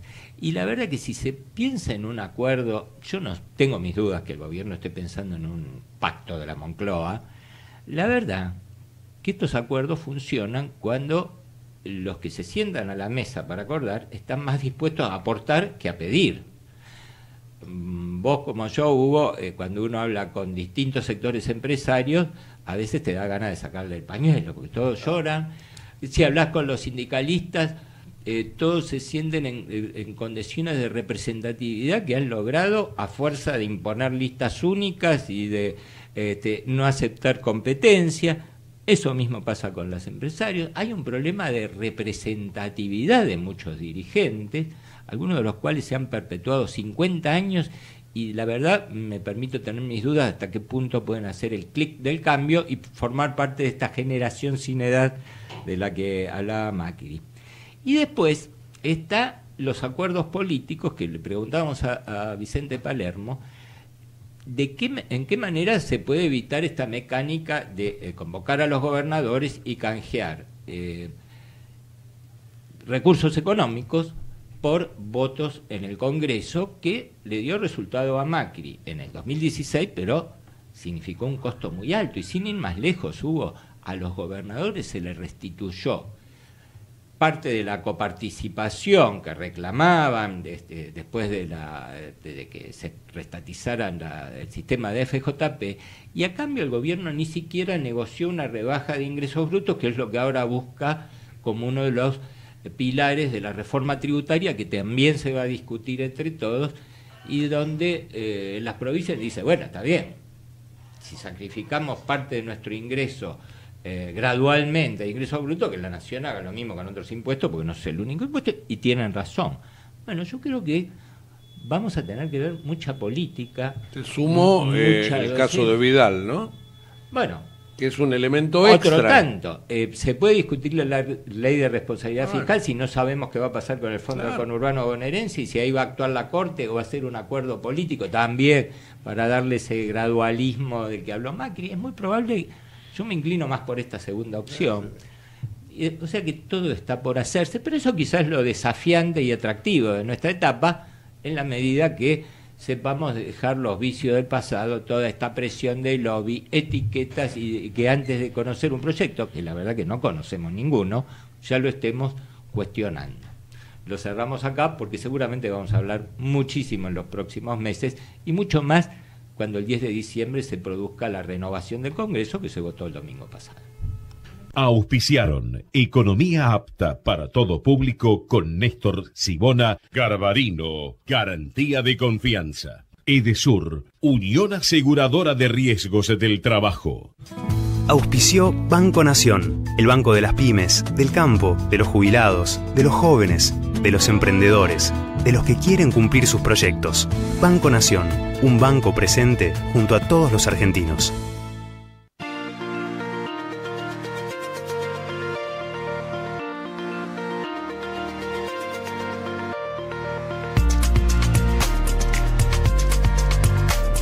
Diez minutos faltan para las 11. En Buenos Aires el cielo está parcialmente nublado. 19 grados 8 la temperatura, 62% la humedad. Bueno, ¿cómo, cómo se ha este, cómo ha pasado la mañana. ¿eh? Hemos tenido realmente muchísima, muchísima actividad en varios temas. El tema económico, fundamentalmente, con esta propuesta política que hace ayer el presidente de la Nación. Eh, hay un elemento, Néstor, que no, lo dije yo al principio del programa, pero que hay que agregarlo. Esto lo va a poner contento al Papa. Ojo que ese es un tema. bueno, ah, por el acuerdo. Por el claro. diálogo. Y es una forma de empezar a cerrar la grieta. Bueno, veremos por ahí bien el Papa, ¿no? No sé. no, no, no, no. no creo, no creo, no creo, no creo. Ah, pero claramente el gobierno va a tener que poner una agenda, ¿no? Una agenda significa Bueno, compromisos. eh, hasta y- ahora es un anuncio. Claro, punto. Pero todo lo demás vendrá por detrás. Y yo sigo siendo escéptico, pero que me perdone Vicente Palermo, pero uno ha visto muchas de estas, muchas. Sí, Eh, hay, ojo, hay gobernadores que lo tenés a favor porque también se quieren quedar un segundo mandato. Más bien. Eh, Y, y ahí mm, no pueden apostar a que fracase el gobierno, porque si, digamos, el, el escenario de Cristina, esto explota. Y la verdad que hay que ha- hacer lo posible para que no explote, ¿no? Este, no, no dar el, eh, hacer el carácter transitivo de que el futuro tiene que ser igual al pasado. Justamente esa es la bisagra que tiene que poner la Argentina. ¿no? Me voy otra vez al encuentro de Rafael Saralegui con otro de sus temas. Rafa, te dejo para que me cuentes qué te ha quedado. Hola, vos, ¿cómo estás? Eh, lo que te quería volver a contar es el tema de Eduardo Freiler, ¿no? El, inicio ya hoy del juicio en su contra en el Consejo de la Magistratura.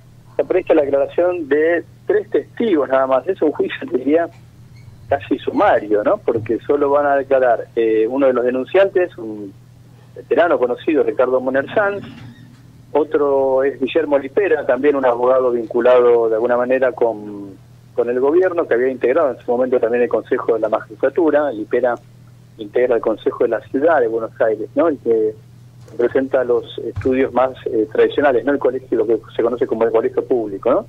Y hay eh, también eh, citado un empresario titular de una financiera que supuestamente le había hecho un eh, préstamo al, al camarista Eduardo Freiler eh, para la compra de un vehículo. Recordemos que lo que se está juzgando ahora es, en juicio político, es el nivel de vida de Freiler, los gastos, eh, recordemos que se le adjudica la compra de una mm, propiedad en Olivos, casi frente a la quinta de Olivos, una de las entradas de la quinta de, Olivos, em, propiedades de caballos de carrera, de em, autos de lujo, bueno, todo bienes, todos bienes que, o un nivel de vida que supuestamente no se condicen con sus ingresos como camarista. Eh, es camarista hace más de 10 años, está suspendido en su cargo desde, mm, desde agosto y eh, con el inicio del jury, te decía, declaran estos tres testigos, que se presume que las tres declaraciones se van a terminar eh, o van a llevarse hoy y no, y no es necesaria otra jornada. Y luego en los días siguientes estarán las acusaciones, digamos, los alegatos por parte de eh, el diputado Pablo Tonelli, la acusación, el, el abogado Miguel Piedecasas, que también eh, es otro de los acusadores, y luego también la, la defensa, ¿no? Digamos que Freiler tiene la posibilidad de defenderse, es un jury político, y con lo cual el caso, te diría, el juicio puede estar terminado eh, la semana próxima o la otra más tardar. Yo creí que iba a haber otros testigos en días posteriores. Vos me decís que van a ser únicamente tres. Claro, eso es lo llamativo, es una lista muy corta, ¿no? De testigos, porque se entiende que las pruebas en realidad son más bien copias de eh, escritos. Eh, recordemos que Freiler está siendo investigado en la justicia, eh, entonces son copias de, de causas que hay en trámite. Tiene otras acusaciones también en el Consejo de la Magistratura, pero te digo, llama un poco la atención que el juicio sea casi sumario, ¿no? Solo con la presentación eh, de tres testigos, digo, dos abogados y otro este otro empresario titular de una financiera eh, que le había prestado dinero o que habría sido una suerte de intermediario para la compra mm, de un vehículo, de un vehículo eh, supuestamente rama que está a nombre del magistrado. Bueno, eh, eh, técnicamente Monerzán no es un testigo, es el denunciante. Sí, pero declara como testigo. Ah, Claro, claro, sí, no, los tres que declaran son testigos. No, no, porque de- co- de como él hizo, político, como él decir, hizo ¿no? la denuncia, digo, me parece que por ahí, si denunció algo, bueno, le, le habrá pregun- le preguntarán por qué denunció. Claro, exactamente. Eh, básicamente, eh, lo que en su momento le había objetado Moner Sanz era cómo había adquirido la casa, una casa mm, supuestamente bastante lujosa, situada en, en Olivo, frente a la entrada de la quinta. En su momento, el descargo de Freiler fue que en realidad no le había costado muy caro porque era una casa que estaba mm, no solo deshabitada, sino en como en muy mal estado, como que estaba abandonada y que había eh, tenido que disponer mucho dinero para, mm, para su arreglo. Pero decía hoy también más temprano, Hugo, acá lo que se cuestiona es eh, que Freiler también tiene algún emprendimiento comercial y recordemos que la ley le prohíbe a los jueces tener actividades comerciales. La única actividad extra que pueden tener, o el único ingreso extra que pueden tener, es por eh, dar clases como docente, Claro, digamos. claro. No, se les, no se les permite tener ninguna otra actividad. Y hoy mismo La Nación está publicando unos correos electrónicos que tienen que ver supuestamente con la explotación de un balneario en la costa, en un vínculo también con un hermano de un juez federal, de Ariel Lijo, el hermano del hijo, con lo cual el tema no es solo la, sería no solo el patrimonio de Freiler, sino si también eh, tuvo emprendimientos de tipo comercial. Mail que creo aportó la ex mujer, ¿no? Me parece que sí. A mí también. Esos divorcios. Bueno, te mando un gran abrazo. conse- traen consecuencias. Claro, será hasta mañana, este, Rafael, gracias. Hasta ¿eh? mañana, Hugo. Un Bueno, abrazo. Chao, nos faltan dos, tres minutos de programa. Néstor, acabo de leer, acá está en Infobae, que el Papa Francisco llamó a la familia Maldonado y la invitó a una audiencia privada en Santa Marta para el día 20 de diciembre. Dice que semanas atrás había existido un contacto epistolar. Eh, y sobre el tema Maldonado hay que reportar dos cosas. Primero, que la Embajada Argentina en Chile sufrió un ataque mapuche ayer, eh, penetraron inclusive al a los jardines de la, de la casa del embajador, Sí, rompieron que es vidrios. contiguo al consulado. Exacto, un auto, eh, bueno, realmente hicieron un destrozo hasta que llegó la policía y creo que se llevó a un par este, de atacantes. Y después hubo otro episodio aquí en la Argentina, en el, en el Bolsón, si no me equivoco, que este, hubo también mapuches que eh, tiraron al suelo una estatua de General San Martín, un busto en realidad, lo rompieron, un busto que un vecino lo recogió, lo puso en su camioneta y se lo llevó, y ahora hay que restaurarlo, y además pintaron una bandera argentina y quemaron una bandera de la provincia de Río Negro. Eso sucedió ayer en este, El Bolsón, aquí en la Argentina. Bueno, te tenés que ir, así que Sí. te dejo la última. Perlita final. eh, hoy se celebra el Día del Seguro y eh, nuestra colega Florencia Donovan en La Nación avanza en dos temas que el sector viene reclamando hace tiempo, pero que esta vez podrían tener, quizá dentro de la reforma tributaria, eh, vía libre. Eh, desgrabaciones, o al menos actualizar las desgrabaciones de ganancias para contratar seguros de vida o de retiro, que ¿sabes desde cuándo no se actualizan? Desde el año 2002. Es casi irrelevante como incentivo al ahorro a largo plazo. Y hablando de seguros, bueno, ahora que eh, María Eugenia Vidal consiguió mayoría en la Cámara de Diputados eh, de la legislatura bonaerense, se descuenta que la provincia va a ser la próxima que adhiera a la ley de RT, que se sancionó por unanimidad el año pasado, y la verdad, no, este año, y hasta ahora hay solo dos jurisdicciones, Capital y Córdoba, que adhirieron a esta suerte de filtro para evitar este, mayor litigiosidad en el tema de accidentes de trabajo. Bueno, Néstor, será hasta el jueves. Estamos Hasta el jueves. ya a las 11 de la mañana. Le deseo mucha suerte a Carlos Clerici. Señor, llegó Clerici, pero noche, aunque no voy yo, a poder ver. yo lo, lo, eh, lo he demorado a Gerardo sobre el tema fútbol porque te- yo te quiero contar algo.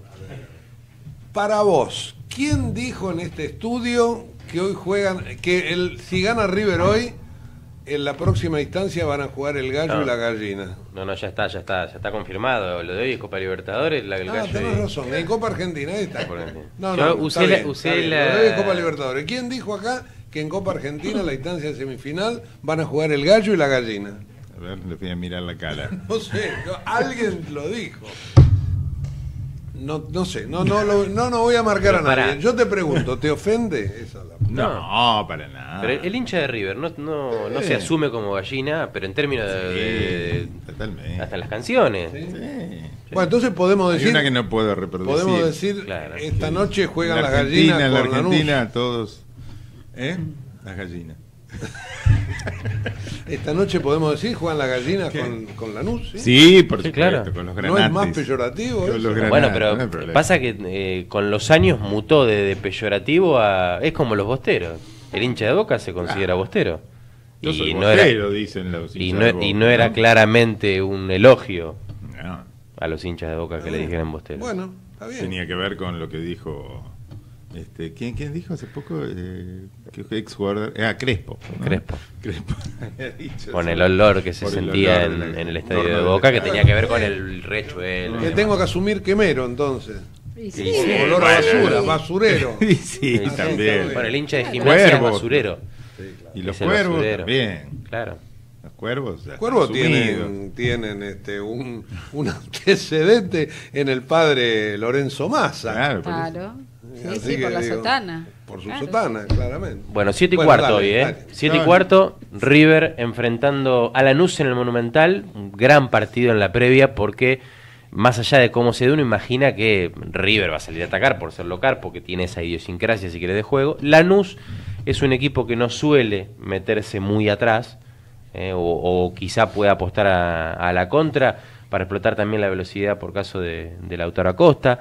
Va a ser bien interesante, eh, al menos eh, esperar a ver qué, desarrollo tiene ese partido. River, Gallardo no confirmó el equipo, pero es un hecho que Montiel va a jugar como lateral derecho porque eh, Moreira ha sufrido una lesión muscular. Sarachi parece tener mejores posibilidades que Milton Casco para jugar por lateral izquierdo. Y la duda estaba planteada en el acompañante de, de Escoco, de si es Carlito Sauski, que parece ganarse un, un lugarcito, o al menos en la consideración de Gallardo, o Nicolás de la Cruz. O hay una Eh, tercera posibilidad. ¿eh? la de Ariel Rojas, Exacto, sí. y que se modifique el esquema y Sí. jueguen Nacho Parece- Fernández, Poncio, Enzo Pérez, Rojas, y que se suelte un poco más Piti Martínez. Exacto, me parece que es la que va, va a predominar a último momento. Bueno, ahí Ariel Rojas es un futbolista en el que obviamente Gallardo confía muchísimo, que le da equilibrio, que hace que River quizá le falte un poquito más en, sobre todo para, para romper en velocidad en mitad de cancha hacia adelante, porque en ese caso le quedaría solo ese revulsivo de, Piti. de Piti Martínez, pero es un futbolista de mucha jerarquía, sobre todo para este tipo de partidos, Ariel Rojas. Sí, porque además la, el Lanús juega muy abierto. Sí, tiene eh. eh, extremos, dos Sí, claro, eh, dos ancho, laterales que suben, juega como ancho. Sí, el tema es que las tres alternativas que tiene Gallardo aportan tres cosas totalmente diferentes. Totalmente porque Auski es para romper por afuera, Claro. en velocidad, que es como jugó, por ejemplo, frente a. Eh, de la Cruz te da, si querés, gambeta en velocidad y algo de pausa, eh, más un, un media punta. Ahí el Y Piti después- es vértigo. Bueno, y no, y la otra opción, digo, de los que hay que ver, hay un puesto, Auski de la Cruz o Roja, que ya Claro. es más un volante que le va a permitir soltarse a Piti Martínez. pasa- a mí me gusta la variante de la Cruz, obviamente me gusta cómo juega el fútbol el Moreno, ¿no? Pero eh, ante un equipo como Lanús, que es tan abierto, como decimos, que va mucho por las puntas, me parece que es la variante donde menos tendría jugadores River por afuera. Sí. Y entonces eh, se puede tornar un poco peligroso. Pero bueno, va a ser un, un lindo partido. Y no ser el único, así repaso otros horarios. Racing visitando a Libertad de Paraguay, partido por Copa Sudamericana. Sudamericana, 21 a 45 en Asunción. Y un encuentro, el último de los cuartos de final de Copa Argentina. De ahí saldrá el rival de Rosario Central, Atlético Tucumán y Vélez a las 9 y 10 de la noche. No, ahora fútbol entonces. Sí.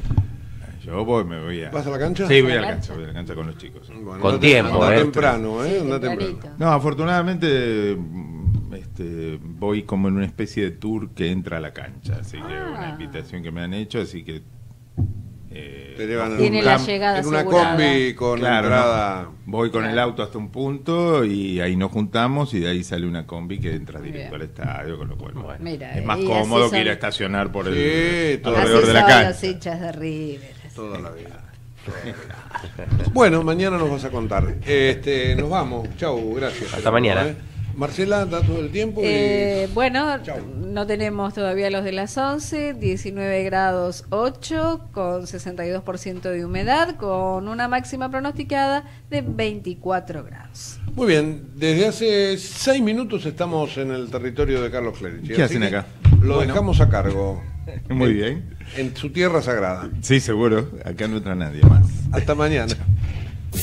Desde Buenos Aires, transmite LRI 224, AM 1220, Ecomedios